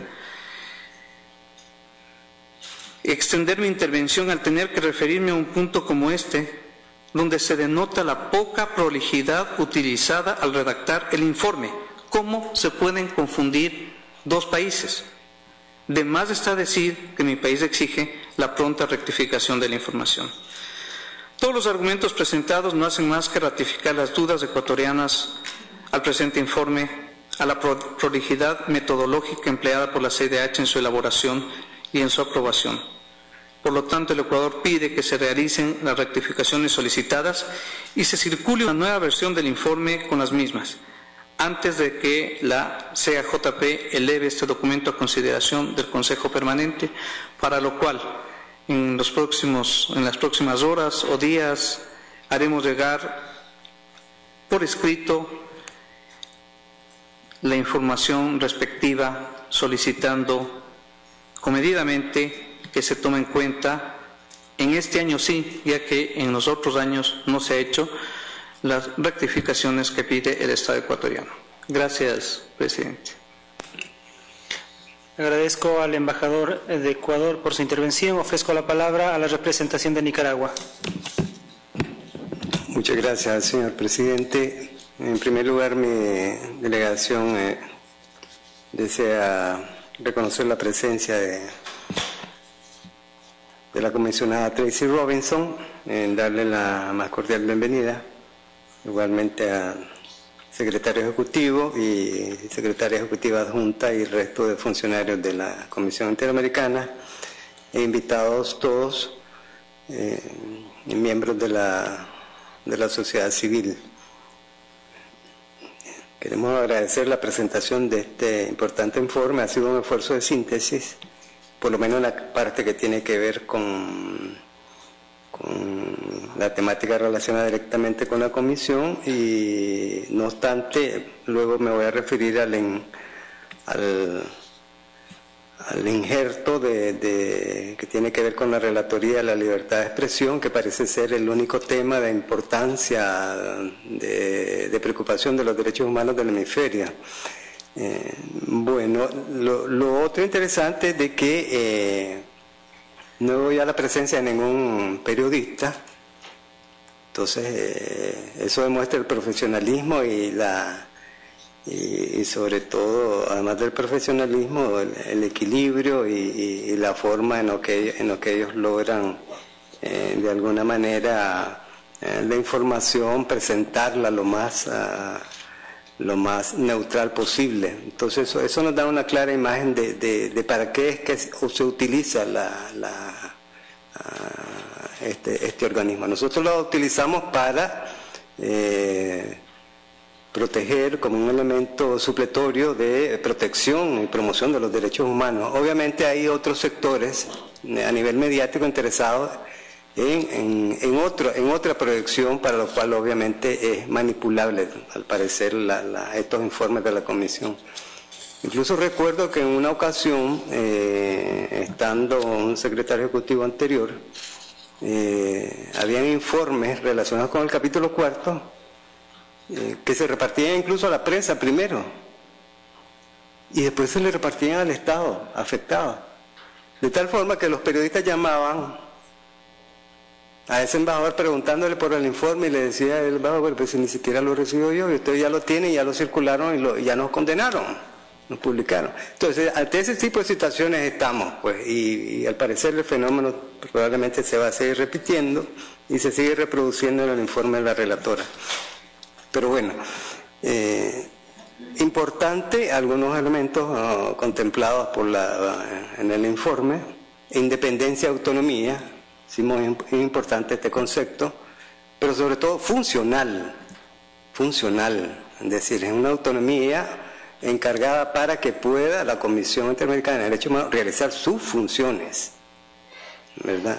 No es una ah, superestructura más allá pues, de, de, los estados, sino que está eh, como un elemento supletorio que viene precisamente a coadyuvar en ese esfuerzo que los estados del hemisferio y particularmente mi estado eh, está eh, promoviendo la efectiva tutela y promoción de los derechos humanos a todos los niveles, no solo los derechos de libertad de expresión, ¿verdad? Que en el voluminoso documento de la eh, poderosa relatora aparece, aparece reflejado ahora. Luego, hay otras preocupaciones de la, de la, de la Comisión Interamericana eh, hacia algún país eh, que probablemente se haya retirado de la, de la, de la, de la jurisdicción contenciosa eh, están preocupados porque limita los recursos de, de sus ciudadanos. Pues que hay una cantidad de países que no son miembros no han ratificado la convención ni siquiera se han adherido a la competencia de la jurisdicción contenciosa de la Corte Interamericana. Estamos hablando de, más de 360 y pico de millones de personas, solo en dos países grandes del, norte. Ese volumen de personas está con esos elementos que grimía la, la presidenta Tracy. Limita los recursos a sus ciudadanos para hacer uso de los derechos estipulado tanto en la Convención Americana de Derechos Humanos, así como el recurso jurisdiccional a la, jurisdicción contenciosa de la Corte Interamericana. ¿verdad? Fuera de otros países, pues, que por sus razones, entendemos, decisiones de, de, soberanía, pues, no se han podido adherir. Pero esa es, esa es una realidad, pues. Esa, es una realidad frente a la cual estamos. Entonces tenemos un doble platón, un doble estándar en cuanto al tratamiento de la temática de los derechos humanos. Y es un problema serio de fondo con el cual todavía eh, subsiste eh, esta problemática en la región. En, lo que tiene que ver con el informe presentado por la, relatora, obviamente eh, tenemos que decir de que eh, ha sido lamentable el ejercicio que ha planteado ahí. Eh, ha establecido un doble estándar en el tratamiento de la temática de la libertad de expresión en el hemisferio. Se ha referido a países eh, con, una especie de, saña por situaciones de, particulares, no me explico, pero y ha dejado por, al, descubierto el tratamiento de problemáticas en donde hay países en donde están matando a los periodistas. Hay asesinatos en masa de periodistas, decenas de periodistas son asesinados.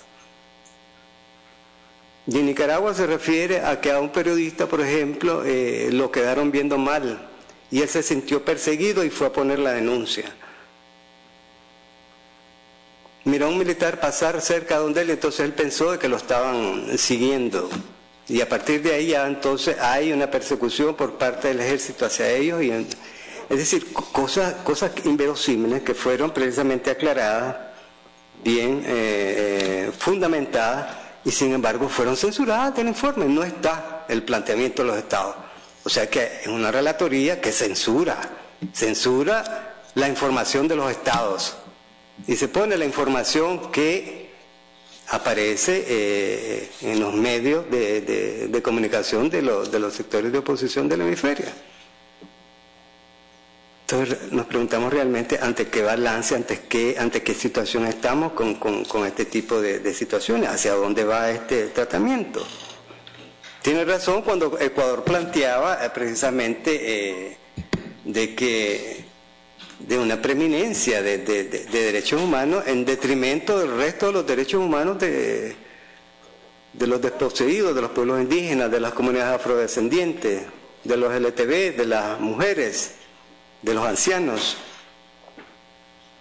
Y no podemos, no podemos seguir trabajando con este tipo de estándares. Y es precisamente una de, de, las revisiones que se estaban haciendo eh, y, de, las cosas que, hay que corregir eh, eh, en cuanto a la temática relacionada con el funcionamiento del sistema interamericano de derechos humanos. O sea que todo eso está todavía pendiente de, discusión y es necesario continuar profundizando acerca de la naturaleza de todas estas situaciones.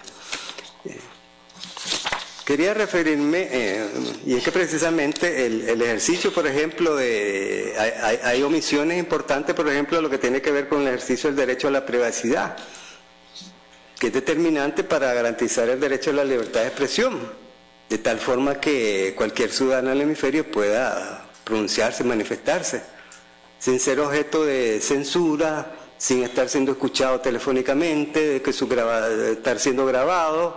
Eh, es decir, eh, hemos visto que incluso ha habido abuso de la tecnología por parte de, algunos estados con respecto a estas temáticas, sin embargo eso no aparece, ¿verdad? Eso no está, no está reflejado en los informes.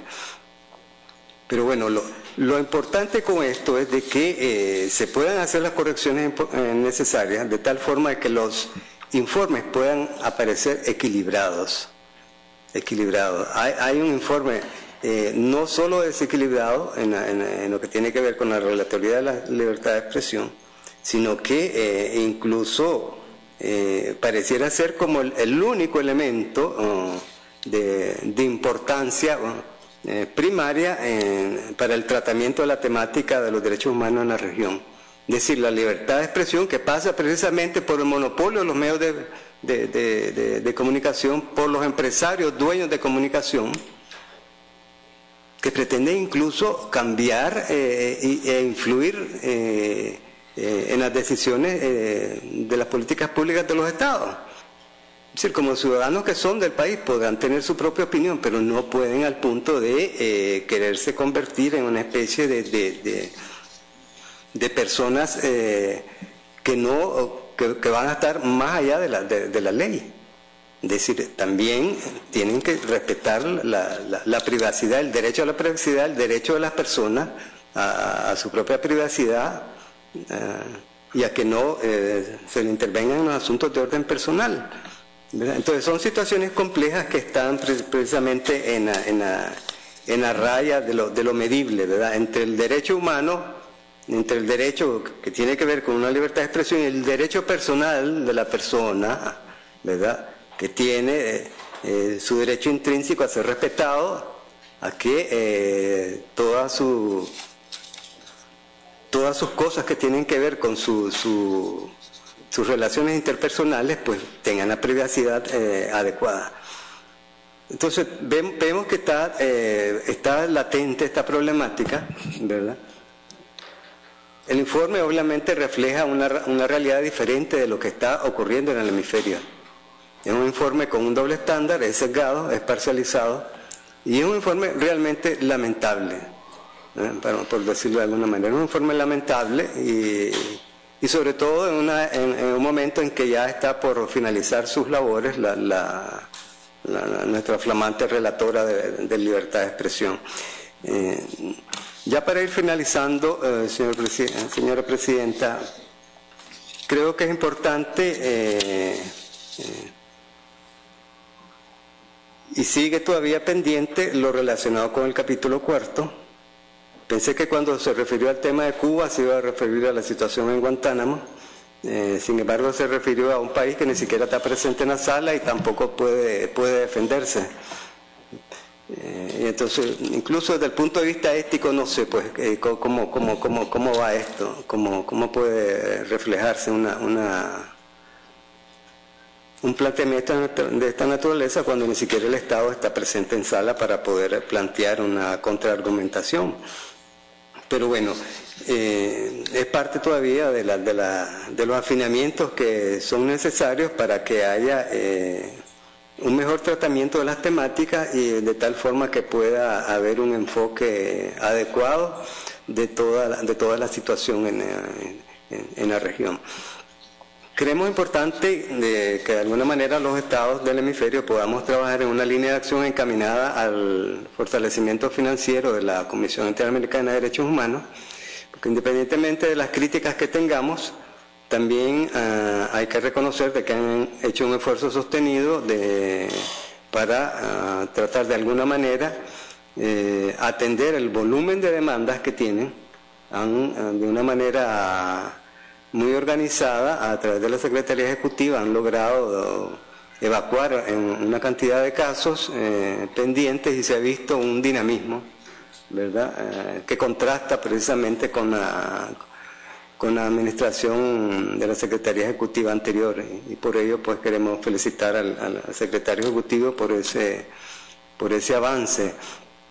Igualmente, eh, no, me resta más que eh, reiterar el, compromiso de mi país, eh, de Nicaragua, con la promoción y tutela de los derechos humanos y las preocupaciones por el perfeccionamiento del sistema interamericano de tal forma que podamos trabajar de manera conjunta eh, en el bien jurídico tutelado que es los derechos de los ciudadanos de, de nuestro hemisferio. Muchas gracias, señor presidente. Agradezco la intervención de Nicaragua. Ofrezco la palabra a República Dominicana. Gracias, señor presidente. Señor presidente, la delegación de la República Dominicana saluda muy atentamente a las autoridades de la Comisión Interamericana de Derechos Humanos que nos acompañan en esta tarde y desea expresar que ha tomado nota de la presentación del informe anual de la Comisión y que hemos transmitido dicho informe a nuestras autoridades. Nuestra delegación desea reafirmar su compromiso permanente con el respeto a los derechos humanos y al conjunto de valores que lo componen y que son intrínsecos a la democracia elemento fundamental, la democracia que nuestro país viene practicando a lo largo de 50 años ininterrumpidamente. Para la República Dominicana es de gran importancia que la Comisión Interamericana de Derechos Humanos trabaje de manera estrecha con los Estados miembros de la OEA para hacer frente a los desafíos que enfrentan estos últimos en materia de derechos humanos y así garantizar una mejor colaboración entre todos los actores del sistema que resulte en beneficio de su objeto, que es la protección y la promoción de los derechos humanos en el hemisferio americano. En otro orden de ideas, señor presidente, la delegación dominicana desea reiterar su profunda preocupación por el manejo inadecuado que ha dado la Comisión a las observaciones preliminares sobre la, visita in loco a la República Dominicana y su presentación sin precedentes ante el Consejo Permanente el 19 de febrero del presente año. Especialmente quisiéramos llamar la atención sobre la publicación de un folleto a todo color contentivo de información que aún no ha sido puesta en conocimiento del Estado de manera oficial a través del, procedimiento que establece el reglamento de la Comisión, sino que ha sido difundida en franca violación a las disposiciones relativas a los informes sobre los derechos humanos en un Estado. Deseamos hacer notar que en esa oportunidad la Comisión, al hacer la presentación de dichas observaciones preliminares que forman parte de su comunicado de prensa número 97-13 ante el órgano político de la OEA, se amparó en unos precedentes que en, en ninguno de sus aspectos son equiparables a la situación que nos ocupa.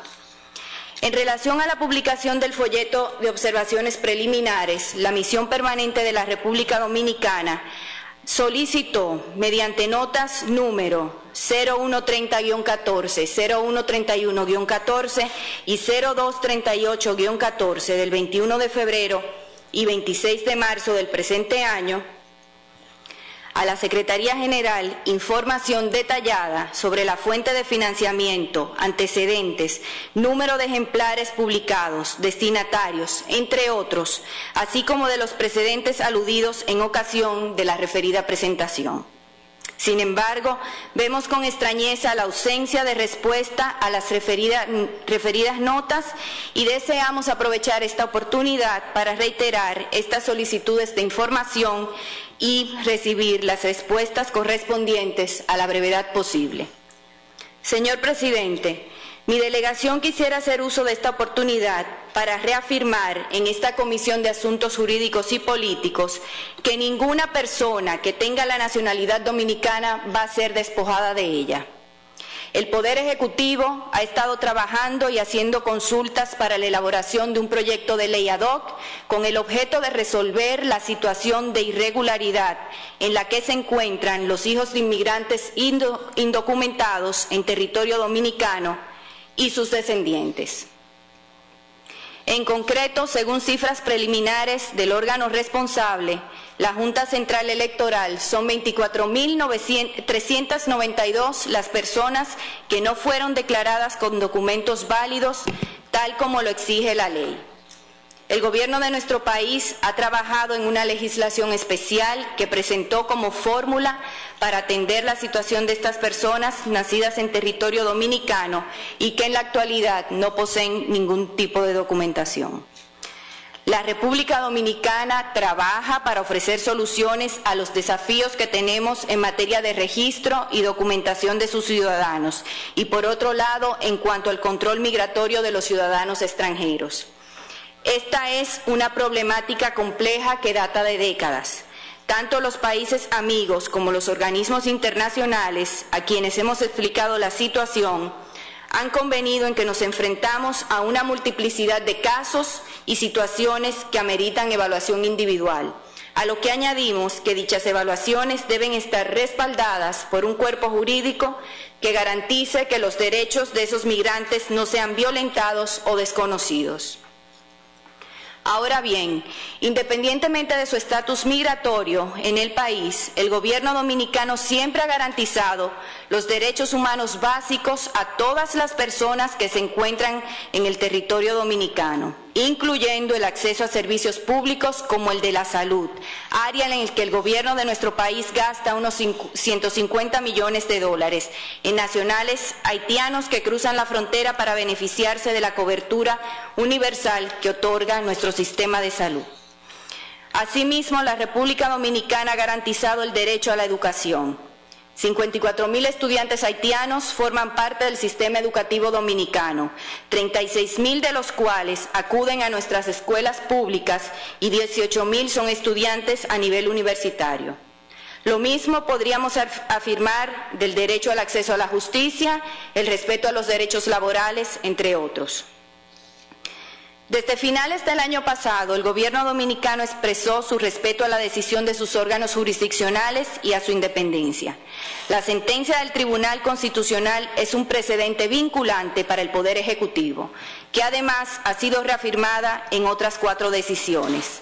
Desconocerla sería subvertir el orden constitucional. El artículo 184 de la Constitución Dominicana es claro cuando dice que habrá un tribunal constitucional para garantizar la supremacía de la Constitución, la defensa del orden constitucional y la protección de los derechos fundamentales. Sus decisiones son definitivas e irrevocables y constituyen precedentes vinculantes para los poderes públicos y todos los órganos del Estado. Al mismo tiempo, el Poder Ejecutivo expresó la firme decisión del Gobierno dominicano de preservar los derechos fundamentales y reconocer los derechos adquiridos de todas las personas que habitan en el territorio. Y así se ha estado haciendo en nuestro país. Por otro lado, señor presidente, para atender al tema migratorio, se ha, iniciado, una campaña de información pública masiva, así como la captura de información en las oficinas de gobernación en todo el país y directamente en las empresas del sector agrícola y de la construcción, para comenzar a formalizar las solicitudes de regularización de extranjeros. El plan de regularización ofrece la posibilidad de que el extranjero en situación irregular adquiera alguna de las categorías migratorias establecidas en la ley. Como nuestra principal relación en este sentido es con la República de Haití, hemos recibido el compromiso de sus autoridades de que dotarán a sus nacionales en territorio dominicano de los pasaportes correspondientes para entonces poder las autoridades dominicanas otorgarles el estatus que les corresponde. Con el objetivo de, garantizar procesos justos y transparentes, cada uno de los casos que se presente será estudiado de forma individual, de acuerdo con requisitos claros, con procedimientos expeditos y costos mínimos, ya establecidos en el pasado mes de noviembre. Además, el Gobierno contará con el apoyo de la sociedad civil, iglesias, organizaciones comunitarias y demás instituciones, tanto en el proceso de acompañamiento como de identificación de los beneficiarios del plan. El Gobierno de la República Dominicana ha mostrado su total disposición a la observación y colaboración en este proceso por parte de la comunidad internacional y a la fecha ya hemos recibido acompañamiento y cooperación de varios países y organismos internacionales, incluida la Organización de Estados Americanos. Por otra parte, la República Dominicana garantizó, mediante el decreto presidencial número 327-13, de fecha 29 de noviembre de 2013, que durante la implementación del proceso de regularización quedarán suspendidas las deportaciones para quienes decidan acogerse al plan. Este decreto está siendo cumplido de forma escrupulosa por las autoridades. Entendemos que la actual coyuntura y las acciones emprendidas nos presentan una ocasión única para emprender una transformación histórica que llevará orden y transparencia a nuestras instituciones, al tiempo que provee justicia y certidumbre a todas las personas que habitan en nuestro territorio. Estamos, de hecho, ante una de las mayores iniciativas llevadas a cabo por un gobierno en materia de reconocimiento de derechos en las últimas décadas. No olvidemos que con la implementación de estos procesos también estaremos impulsando la correcta documentación de un significativo porcentaje de la propia población dominicana que aún hoy se encuentra indocumentada. Muchísimas gracias, señor presidente. Agradezco la intervención de República Dominicana. Ofrezco la palabra a la representación de Perú. Gracias, señor presidente, y buenas tardes a todos. Deseo, en primer lugar, saludar la presencia de la presidenta de la Comisión Interamericana de Derechos Humanos, comisionada Tracy Robinson, y agradecer la completa presentación efectuada del informe anual 2013 de la CIDH. Asimismo, saludar la presencia del secretario ejecutivo, la secretaria ejecutiva adjunta y de todos los funcionarios de la Secretaría que nos acompañan hoy día. Asimismo, sirva esta ocasión para reafirmar el compromiso del Perú con la protección y defensa de los derechos humanos y con el sistema interamericano de derechos humanos, y reconocer y saludar los esfuerzos desempeñados por la Comisión Interamericana de Derechos Humanos a este fin y los esfuerzos que vienen realizando para la implementación de las reformas de su reglamento y prácticas en atención a las recomendaciones que hiciéramos los Estados como resultado de un proceso de reflexión que duró más de dos años. Tomamos nota de los progresos identificados por la Comisión en su informe anual en la consecución de los objetivos de los instrumentos interamericanos de derechos humanos en el año que pasó y asimismo de los desafíos del sistema identificados como la universalidad, el cumplimiento de las decisiones de la Comisión y la necesidad de contar con los recursos suficientes. Esperamos poder contribuir para la superación de estos y otros desafíos en pos del fortalecimiento del sistema. Deseo igualmente saludar las diversas actividades de promoción de los derechos humanos efectuadas por la Comisión en mi país durante el 2013, sobre las que da cuenta el informe. Dichas actividades incluyeron la realización de eventos académicos, reuniones de trabajos con autoridades y visitas de diversos miembros de la Comisión a mi país. Sin duda, el diálogo permanente entre la Comisión y los Estados debe ser una constante y mi delegación saluda la voluntad de diálogo mostrada por la Comisión en el año que pasó.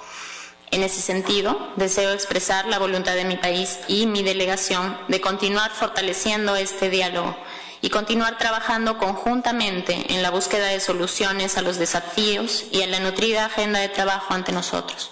Muchas gracias, señor presidente. Agradezco la intervención de Perú. Ofrezco la palabra a la representación de Argentina.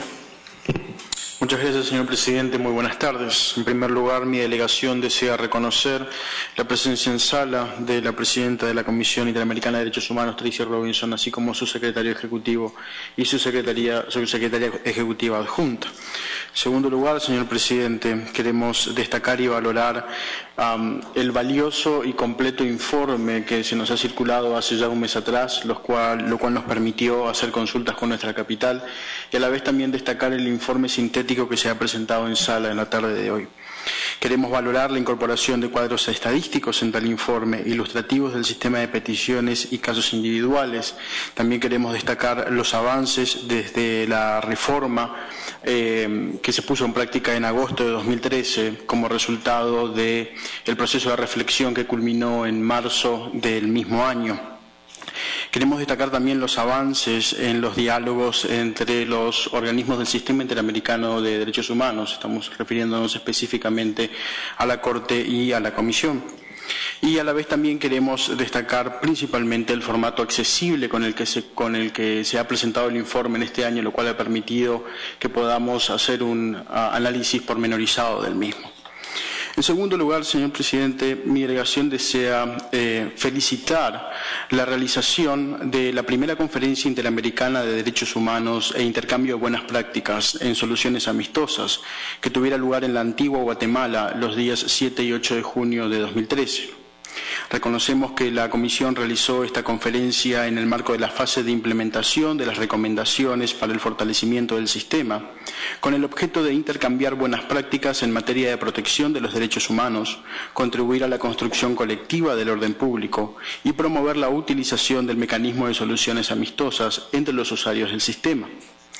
La Argentina Afortunadamente pudo integrar el panel de expositores de esa conferencia y se refirió a las políticas de promoción de soluciones amistosas como opción preferente y expuso ejemplos exitosos que derivaron en la adopción de diferentes medidas de mejoramiento y fortalecimiento institucional a partir de casos individuales, mencionando al respecto, entre otros, los avances registrados en materia de justicia militar, prácticamente la derogación del Código de Justicia Militar en el caso Correa Belisle, la nueva ley de migraciones vinculada al caso de la Torre y la reforma previsional en el caso Menéndez y Caríes, entre otros, vinculando a nuestro organismo ANSES. Así, señor presidente, eh, la Argentina eh, pudo participar de este foro.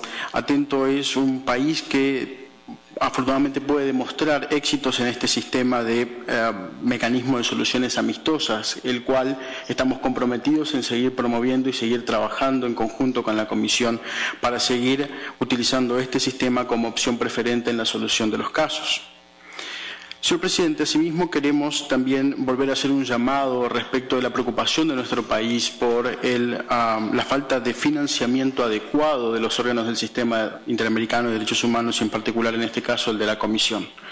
Eh, mi delegación está trabajando de cara a las discusiones vinculadas con la visión estratégica para la organización a fin de atender mediante el fondo regular y contribuciones de los Estados miembros de esta organización con el financiamiento adecuado de la Comisión Interamericana de Derechos Humanos.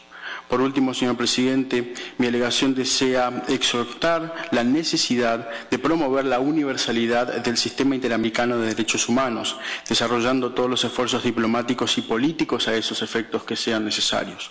Por último, señor presidente, mi delegación reafirma el compromiso con la defensa y la promoción de los derechos humanos de cara al trabajo conjunto que realiza y ha realizado históricamente con los órganos del sistema interamericano de derechos humanos. Muchas gracias. Agradezco la intervención de Argentina. Ofrezco la palabra a la representación de Guatemala.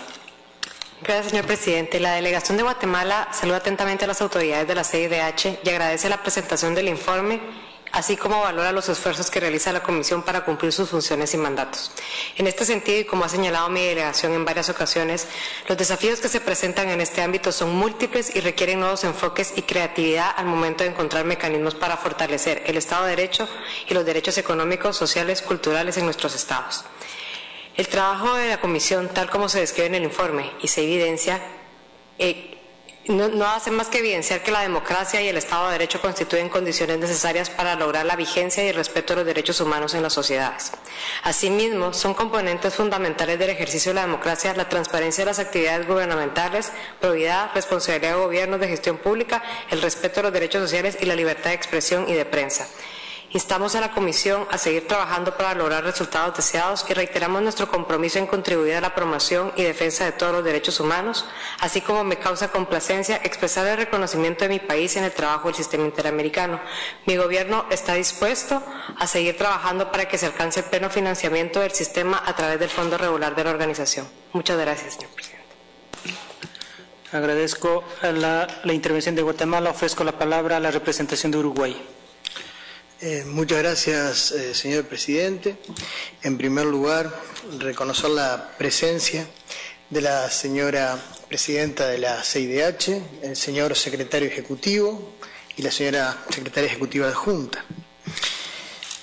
Eh, nuestra delegación desea asimismo agradecer a la señora presidenta de la Comisión Interamericana de Derechos Humanos, señora Tracy Robinson, por la presentación del completo informe anual que ha efectuado. Uruguay ha firmado y ratificado todos los instrumentos interamericanos en materia de derechos humanos. En consonancia con dicha vocación por la protección y promoción de los derechos humanos y sobre la base de los principios de independencia y autonomía de la Comisión y de la Corte, para Uruguay lograr la universalidad del sistema interamericano de derechos humanos debería ser un objetivo y aspiración compartidos por todos los Estados miembros de la OEA. Está mencionado en el informe y lo celebramos. Ya hemos hecho referencia en oportunidad del diálogo efectuado entre la CIDH y con los Estados miembros, diálogo que tuvo lugar hace algunas semanas aquí mismo en Washington, que se debería mejorar la asignación, decíamos, que se debería mejorar la asignación de recursos a la Comisión y a la Corte, tema que en nuestra opinión necesariamente debe pasar por decisiones en materia de visión estratégica. Muchas gracias, señor presidente. Agradezco la intervención de Uruguay y ofrezco la palabra a la representación de México. Muchas gracias, señor presidente. En primer lugar, eh, extender un saludo y reconocimiento a la presencia de la doctora Tracy Robinson, la comisionada presidenta de la CIDH, al secretario ejecutivo y a la secretaria ejecutiva adjunta. Eh, trataré de ser breve en atención del tiempo, aunque por supuesto que la presentación del informe siempre eh, provoca muchos comentarios por parte de, mi delegación. Primero que nada, Hemos tomado nota del justificadamente extenso y exhaustivo informe anual correspondiente a las actividades de, 2013 que se, han que se ha presentado eh, eh, en la sala.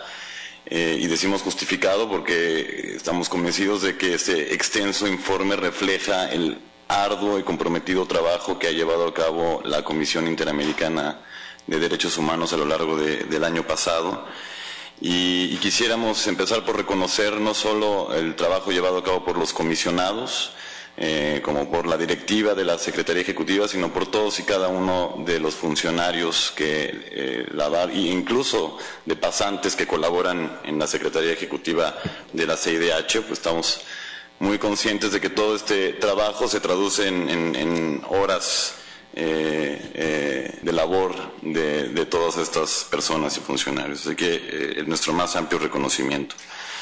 También queremos dejar constancia de, con satisfacción de, los avances que se han registrado en la implementación de las reformas al reglamento, políticas y prácticas que adoptó, que adoptó la Comisión en, el año pasado y que entraron en vigor en, en 2013 eh, como muchos de los estados, eh, muchas de las delegaciones lo han mencionado, eh, todas estas todos estos avances no han pasado desapercibidos. Mi país aprecia particularmente los esfuerzos que se han hecho en materia de fundamentar y motivar exhaustivamente las, decisiones que toma la Comisión en materia de medidas cautelares. Estamos convencidos, como lo dijimos durante el proceso de reflexión, que ello solo abona a un mejor cumplimiento, un más, una mayor y más fácil implementación de estas decisiones en el ámbito interno. Reconocemos también el esfuerzo que se ha hecho en materia de revisión de la cartera de, casos, de peticiones, de medidas cautelares. Eh, sabemos del trabajo que esto supone para, eh, la Secretaría Ejecutiva y para los comisionados, pero vemos con, satisfacción que, la cartera de, casos, de medidas cautelares, de peticiones, se va depurando cuando se justifica eh, ya sea el archivo o el levantamiento de alguna medida o la inadmisibilidad de, alguna petición.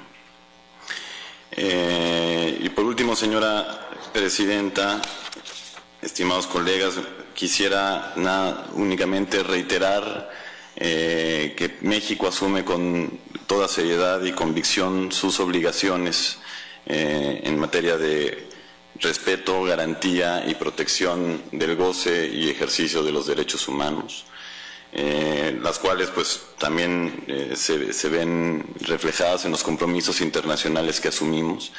Eh, mi país despliega numerosos y múltiples esfuerzos para cumplir con esas obligaciones y si bien estamos conscientes de, la importancia de mantener, eh, mantener estos esfuerzos de, redoblar energías para, lograr ese objetivo, sabemos que muchas veces los retos que enfrentamos eh, son, son numerosos, son, eh, implican, implican este, demasiado esfuerzo. Y así en esa medida es que reconocemos que el trabajo de la Comisión del Sistema Interamericano, de sus dos órganos, contribuye a, poder cumplir con, todas estas obligaciones y a superar los retos eh, que enfrentamos. Y precisamente por eso es que nos interesa y estamos eh, muy comprometidos en hacer todo lo, que esté a nuestro alcance para fortalecer el trabajo de los, de los dos órganos que integran el sistema interamericano. Eh, ya lo han mencionado aquí muchos de las delegaciones principalmente hablando de los tres retos estructurales que, todos eh, conocemos, el cumplimiento de las decisiones que emiten los órganos, el financiamiento adecuado de, los dos órganos y por supuesto también eh, lograr la universalidad de la protección que, brinda el sistema a, a todas las personas en el hemisferio. Entonces, eh, seguiremos nosotros haciendo lo que esté eh, a, nuestro alcance, eh, incluso considerando otras alternativas, medios quizá no tradicionales, por ejemplo, en materia de financiamiento de los órganos, medios no tradicionales, promoviendo la suscripción de acuerdos de colaboración entre autoridades nacionales con la CIDH, con la Corte, eh, promoviendo la suscripción de acuerdos de colaboración entre nuestras universidades u otras eh, instituciones eh, de la sociedad civil, organizaciones de la sociedad civil con, ambos órganos em, para, precisamente poder, poder este, superar, superar estos desafíos. Muchísimas gracias, señor presidente. Agradezco la intervención de México. Ofrezco la palabra a la representación de Ecuador. Gracias, señor presidente.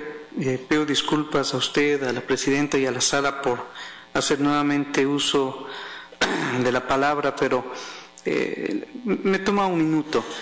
Eh, la, Comisión Interamericana de Derechos Humanos no puede hacer abstracción del impacto que causa en, nuestros países. Los dos periódicos más importantes del Ecuador son el, el Comercio y el Universo. Hace 12 minutos el titular de Diario El Comercio dice, CIDH reitera su preocupación por la libertad de expresión en el Ecuador. La comisión cuya presidenta Tracy Robinson presentó hoy el informe ante el Comité de Asuntos Jurídicos y Políticos del Consejo Permanente de la OEA comenzó por redactar las graves restricciones derivadas de la ley de comunicación sancionadas por Correa. Y hace 15 minutos, Diario El Universo, en su titular, la primera página, dice a la CIDH le sigue preocupando la situación de libertad de expresión en el Ecuador. la Comisión Interamericana de Derechos Humanos acusó directamente al gobierno del Ecuador de continuar la práctica de utilizar medios públicos para estigmatizar a defensores de derechos humanos, organizaciones no gubernamentales y periodistas. Y no sigo leyendo los otros medios de comunicación.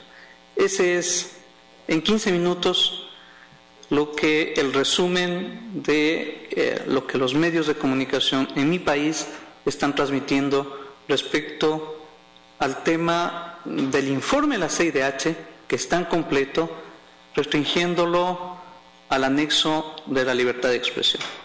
Gracias. Agradezco la intervención de Ecuador. Ofrezco la palabra a la representación de Brasil.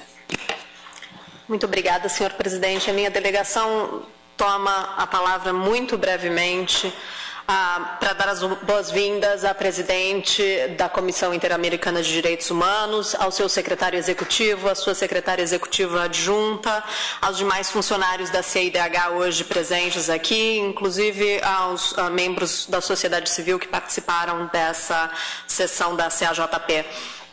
A minha delegação gostaria de agradecer a apresentação detalhada feita pela presidente Robinson e informar e gostaria de informar que tomamos nota do relatório e já transmitimos não apenas o relatório como comentários feitos pela ah, pela missão à nossa capital. Ah, nessa oportunidade, a delegação brasileira gostaria de reiterar o compromisso do Brasil com os direitos humanos e com o sistema interamericano de direitos humanos e manifestar sua uh, disposição de seguir dialogando e trabalhando com a CIDH e com os demais órgãos do sistema para a promoção e a proteção dos direitos humanos na nossa região. Muito obrigada. Agradezco a intervenção da representação de Brasil. Ofrezco a palavra à representação de Costa Rica. Sí, buenas tardes, señor presidente. Buenas tardes, señora presidenta Tracy Robinson, al señor secretario ejecutivo Emilio Álvarez y Casa, igualmente a la señora secretaria ejecutiva adjunta Elizabeth Avi Merchet, y así como todos eh, los demás funcionarios de la Comisión Interamericana de Derechos Humanos presentes y la sociedad civil. Primero que nada, mi país desea agradecer la presentación formal de este informe ante la Comisión de Asuntos Jurídicos y Políticos. Asimismo, valora y apoya el trabajo que realiza la Comisión Interamericana de Derechos Humanos para mejorar los estándares interamericanos de derechos humanos. De la misma manera, quisiera agradecer a la Comisión Interamericana sobre los esfuerzos en el tema de soluciones amistosas y este, valora la realización del de, eh, seminario realizado en Antigua Guatemala el año anterior después de la Asamblea General. Igual, igualmente de, relevancia para mi país los esfuerzos que ha hecho la Comisión en, la realización de visitas de trabajo y promoción de derechos humanos, en especial sobre el tema de la detención migratoria, así como la presentación de informes temáticos en diferentes países de los Estados miembros. Igualmente, quisiera reiterar el compromiso expresado en la reunión sostenida en febrero de 2013 entre la Presidenta de la República, doña Laura Chinchilla, y la Comisión, Interamericana con la promoción y defensa de los derechos humanos, así como el fortalecimiento de la autonomía e independencia de la Comisión Interamericana, y aún más para fortalecer la, la Relatoría Especial de la Libertad de Expresión. Asimismo, eh, es de preocupación para mi país que se debe fortalecer el sistema interamericano de derechos humanos en general eh, en, su financiamiento. Como uno de los principales retos que, eh, con claridad debemos asumir todos los Estados miembros de esta organización. El fortalecimiento del sistema interamericano y su fortalecimiento financiero es, eh, una preocupación para mi país y creo que con la visión estratégica que se está llevando a cabo en esta organización podemos dar grandes avances para la realización de este objetivo. Muchas gracias, señor presidente. Agradezco la intervención de Costa Rica. Si no tuviéramos otras intervenciones, en nombre de la Comisión de Asuntos Jurídicos y Políticos, agradezco a la presidenta de la Comisión Interamericana de Derechos Humanos, comisionada Tracy Robinson, por la presentación de su informe. De conformidad al artículo 18 del reglamento del Consejo Permanente, que textualmente dice, abro comillas, la Comisión de Asuntos Jurídicos y Políticos considerará los informes del Comité Jurídico Interamericano, la Comisión Interamericana de Derechos Humanos y la Corte Interamericana de Derechos Humanos a los que, se refiere el artículo 91 de la Carta. Asimismo, elevará al Consejo Permanente sus informes con observaciones y recomendaciones y los correspondientes proyectos de resolución. Cierro comillas. En este sentido, una vez considerado el informe presentado por la Comisión Interamericana de Derechos Humanos, será elevado al Consejo Permanente recogiendo cada uno de los comentarios y observaciones de las delegaciones de Panamá, Chile, Colombia, Haití, Paraguay, Ecuador, Nicaragua, República Dominicana, Perú, Argentina, Guatemala, Uruguay, México, Brasil y Costa Rica. Ofrezco la palabra a la delegación de Ecuador. Gracias, señor presidente. Nosotros hemos hecho observaciones, hemos solicitado rectificaciones, pero además hay un error y es un error manifiesto en que se está citando a un país como el Ecuador en un caso que no le corresponde. Pregunto a la presidencia, ¿cómo podemos pasar este informe con un error manifiesto que debe ser corregido eh, para conocimiento del Consejo? Me parece, señor presidente, con todo comedimiento, que la Comisión Interamericana de Derechos Humanos debería recoger las observaciones, por lo menos hacer los cambios, como en este caso que es absoluto y totalmente evidente el error que se ha cometido, para después poner en su conocimiento y pasar al eh, Consejo Permanente. En este momento no sé eh, eh, si incluso tenemos quórum, señor presidente.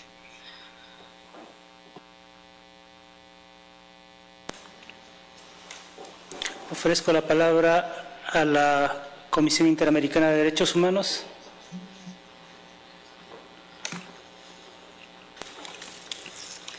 Thank you very much, Chair, President. Um, the Commission welcomes the comments and observations which have been made here today. Uh, I will, as President, share them with the plenary. We also welcome the written observations um, which you will make in due course. Um, I wish to, to assure the delegate from Ecuador that where there is a glaring mistake, the Commission will do everything to immediately correct it. I want to indicate also our gratitude um, for the recognition of the comprehensiveness of the report. Um, the report, as you can see in every chapter, deals with all of the rights. In fact, the chapters which signal the cases we work on, the range of activities, um, does support the, interdivis the, the interdivisibility and interdependence of all human rights. We also want to signal the Commission's intention to establish a new special rapporteurship on economic, social and cultural rights within the next year and a half. Um, and to welcome the conversations and dialogues we will have with states in relation to that. Um, we acknowledge um, the statements and the efforts of the Dominican Republic um, to resolve the question of nationality of persons of Haitian descent. And we also are in the process of processing the information we received and the preparation of a final report. We wish to signal again that the information provided to the Permanent Council was exactly the information provided at the press conference at the end of the visit in the Dominican Republic. If I could, President, I would end as I did in my remarks and express our thanks to member states who have all reiterated the three main concerns which we have had in this annual report.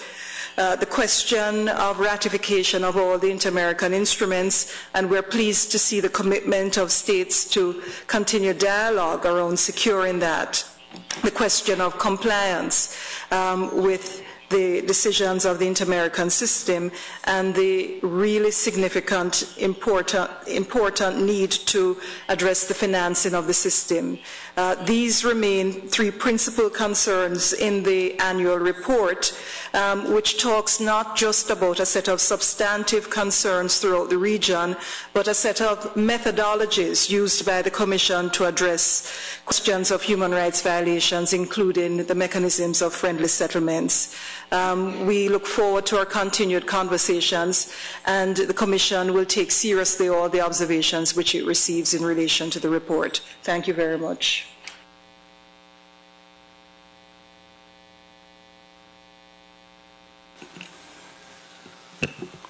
Agradecemos a la Comisión Interamericana de Derechos Humanos por eh, recoger las observaciones de los Estados miembros y eh,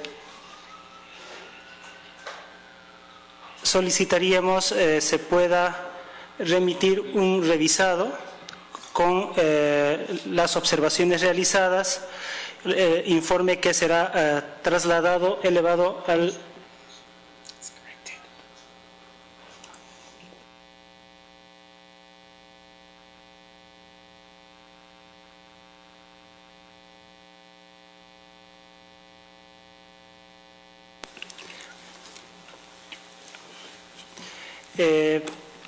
El presente informe, como, como, establece el reglamento, eh, será elevado eh, al Consejo Permanente y eh, solicitaríamos que las delegaciones que tienen las observaciones nos las puedan trasladar por escrito para que las mismas puedan ser adjuntadas como observaciones al al documento que se vaya a elevar para conocimiento del Consejo Permanente, como establece tanto el artículo 18 como el artículo 35 del reglamento, una vez considerado por, eh, por la Comisión de Asuntos Jurídicos y Políticos.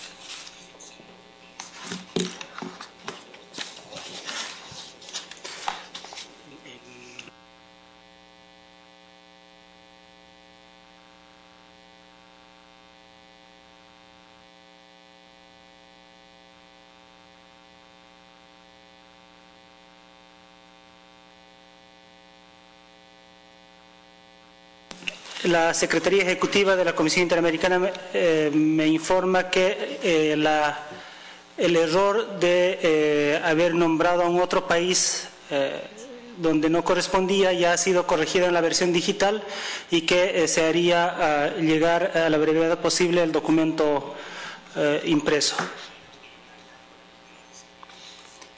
Con estas observaciones estaríamos elevando para el conocimiento del Consejo Permanente el, informe presentado el día de hoy, recogiendo todos los comentarios y las observaciones de las delegaciones que se hicieron en sala. Solicitamos que las observaciones puedan ser remitidas por escrito para que las mismas acompañen al presente informe. Si no tuviéramos otras observaciones, así queda acordado. acordado.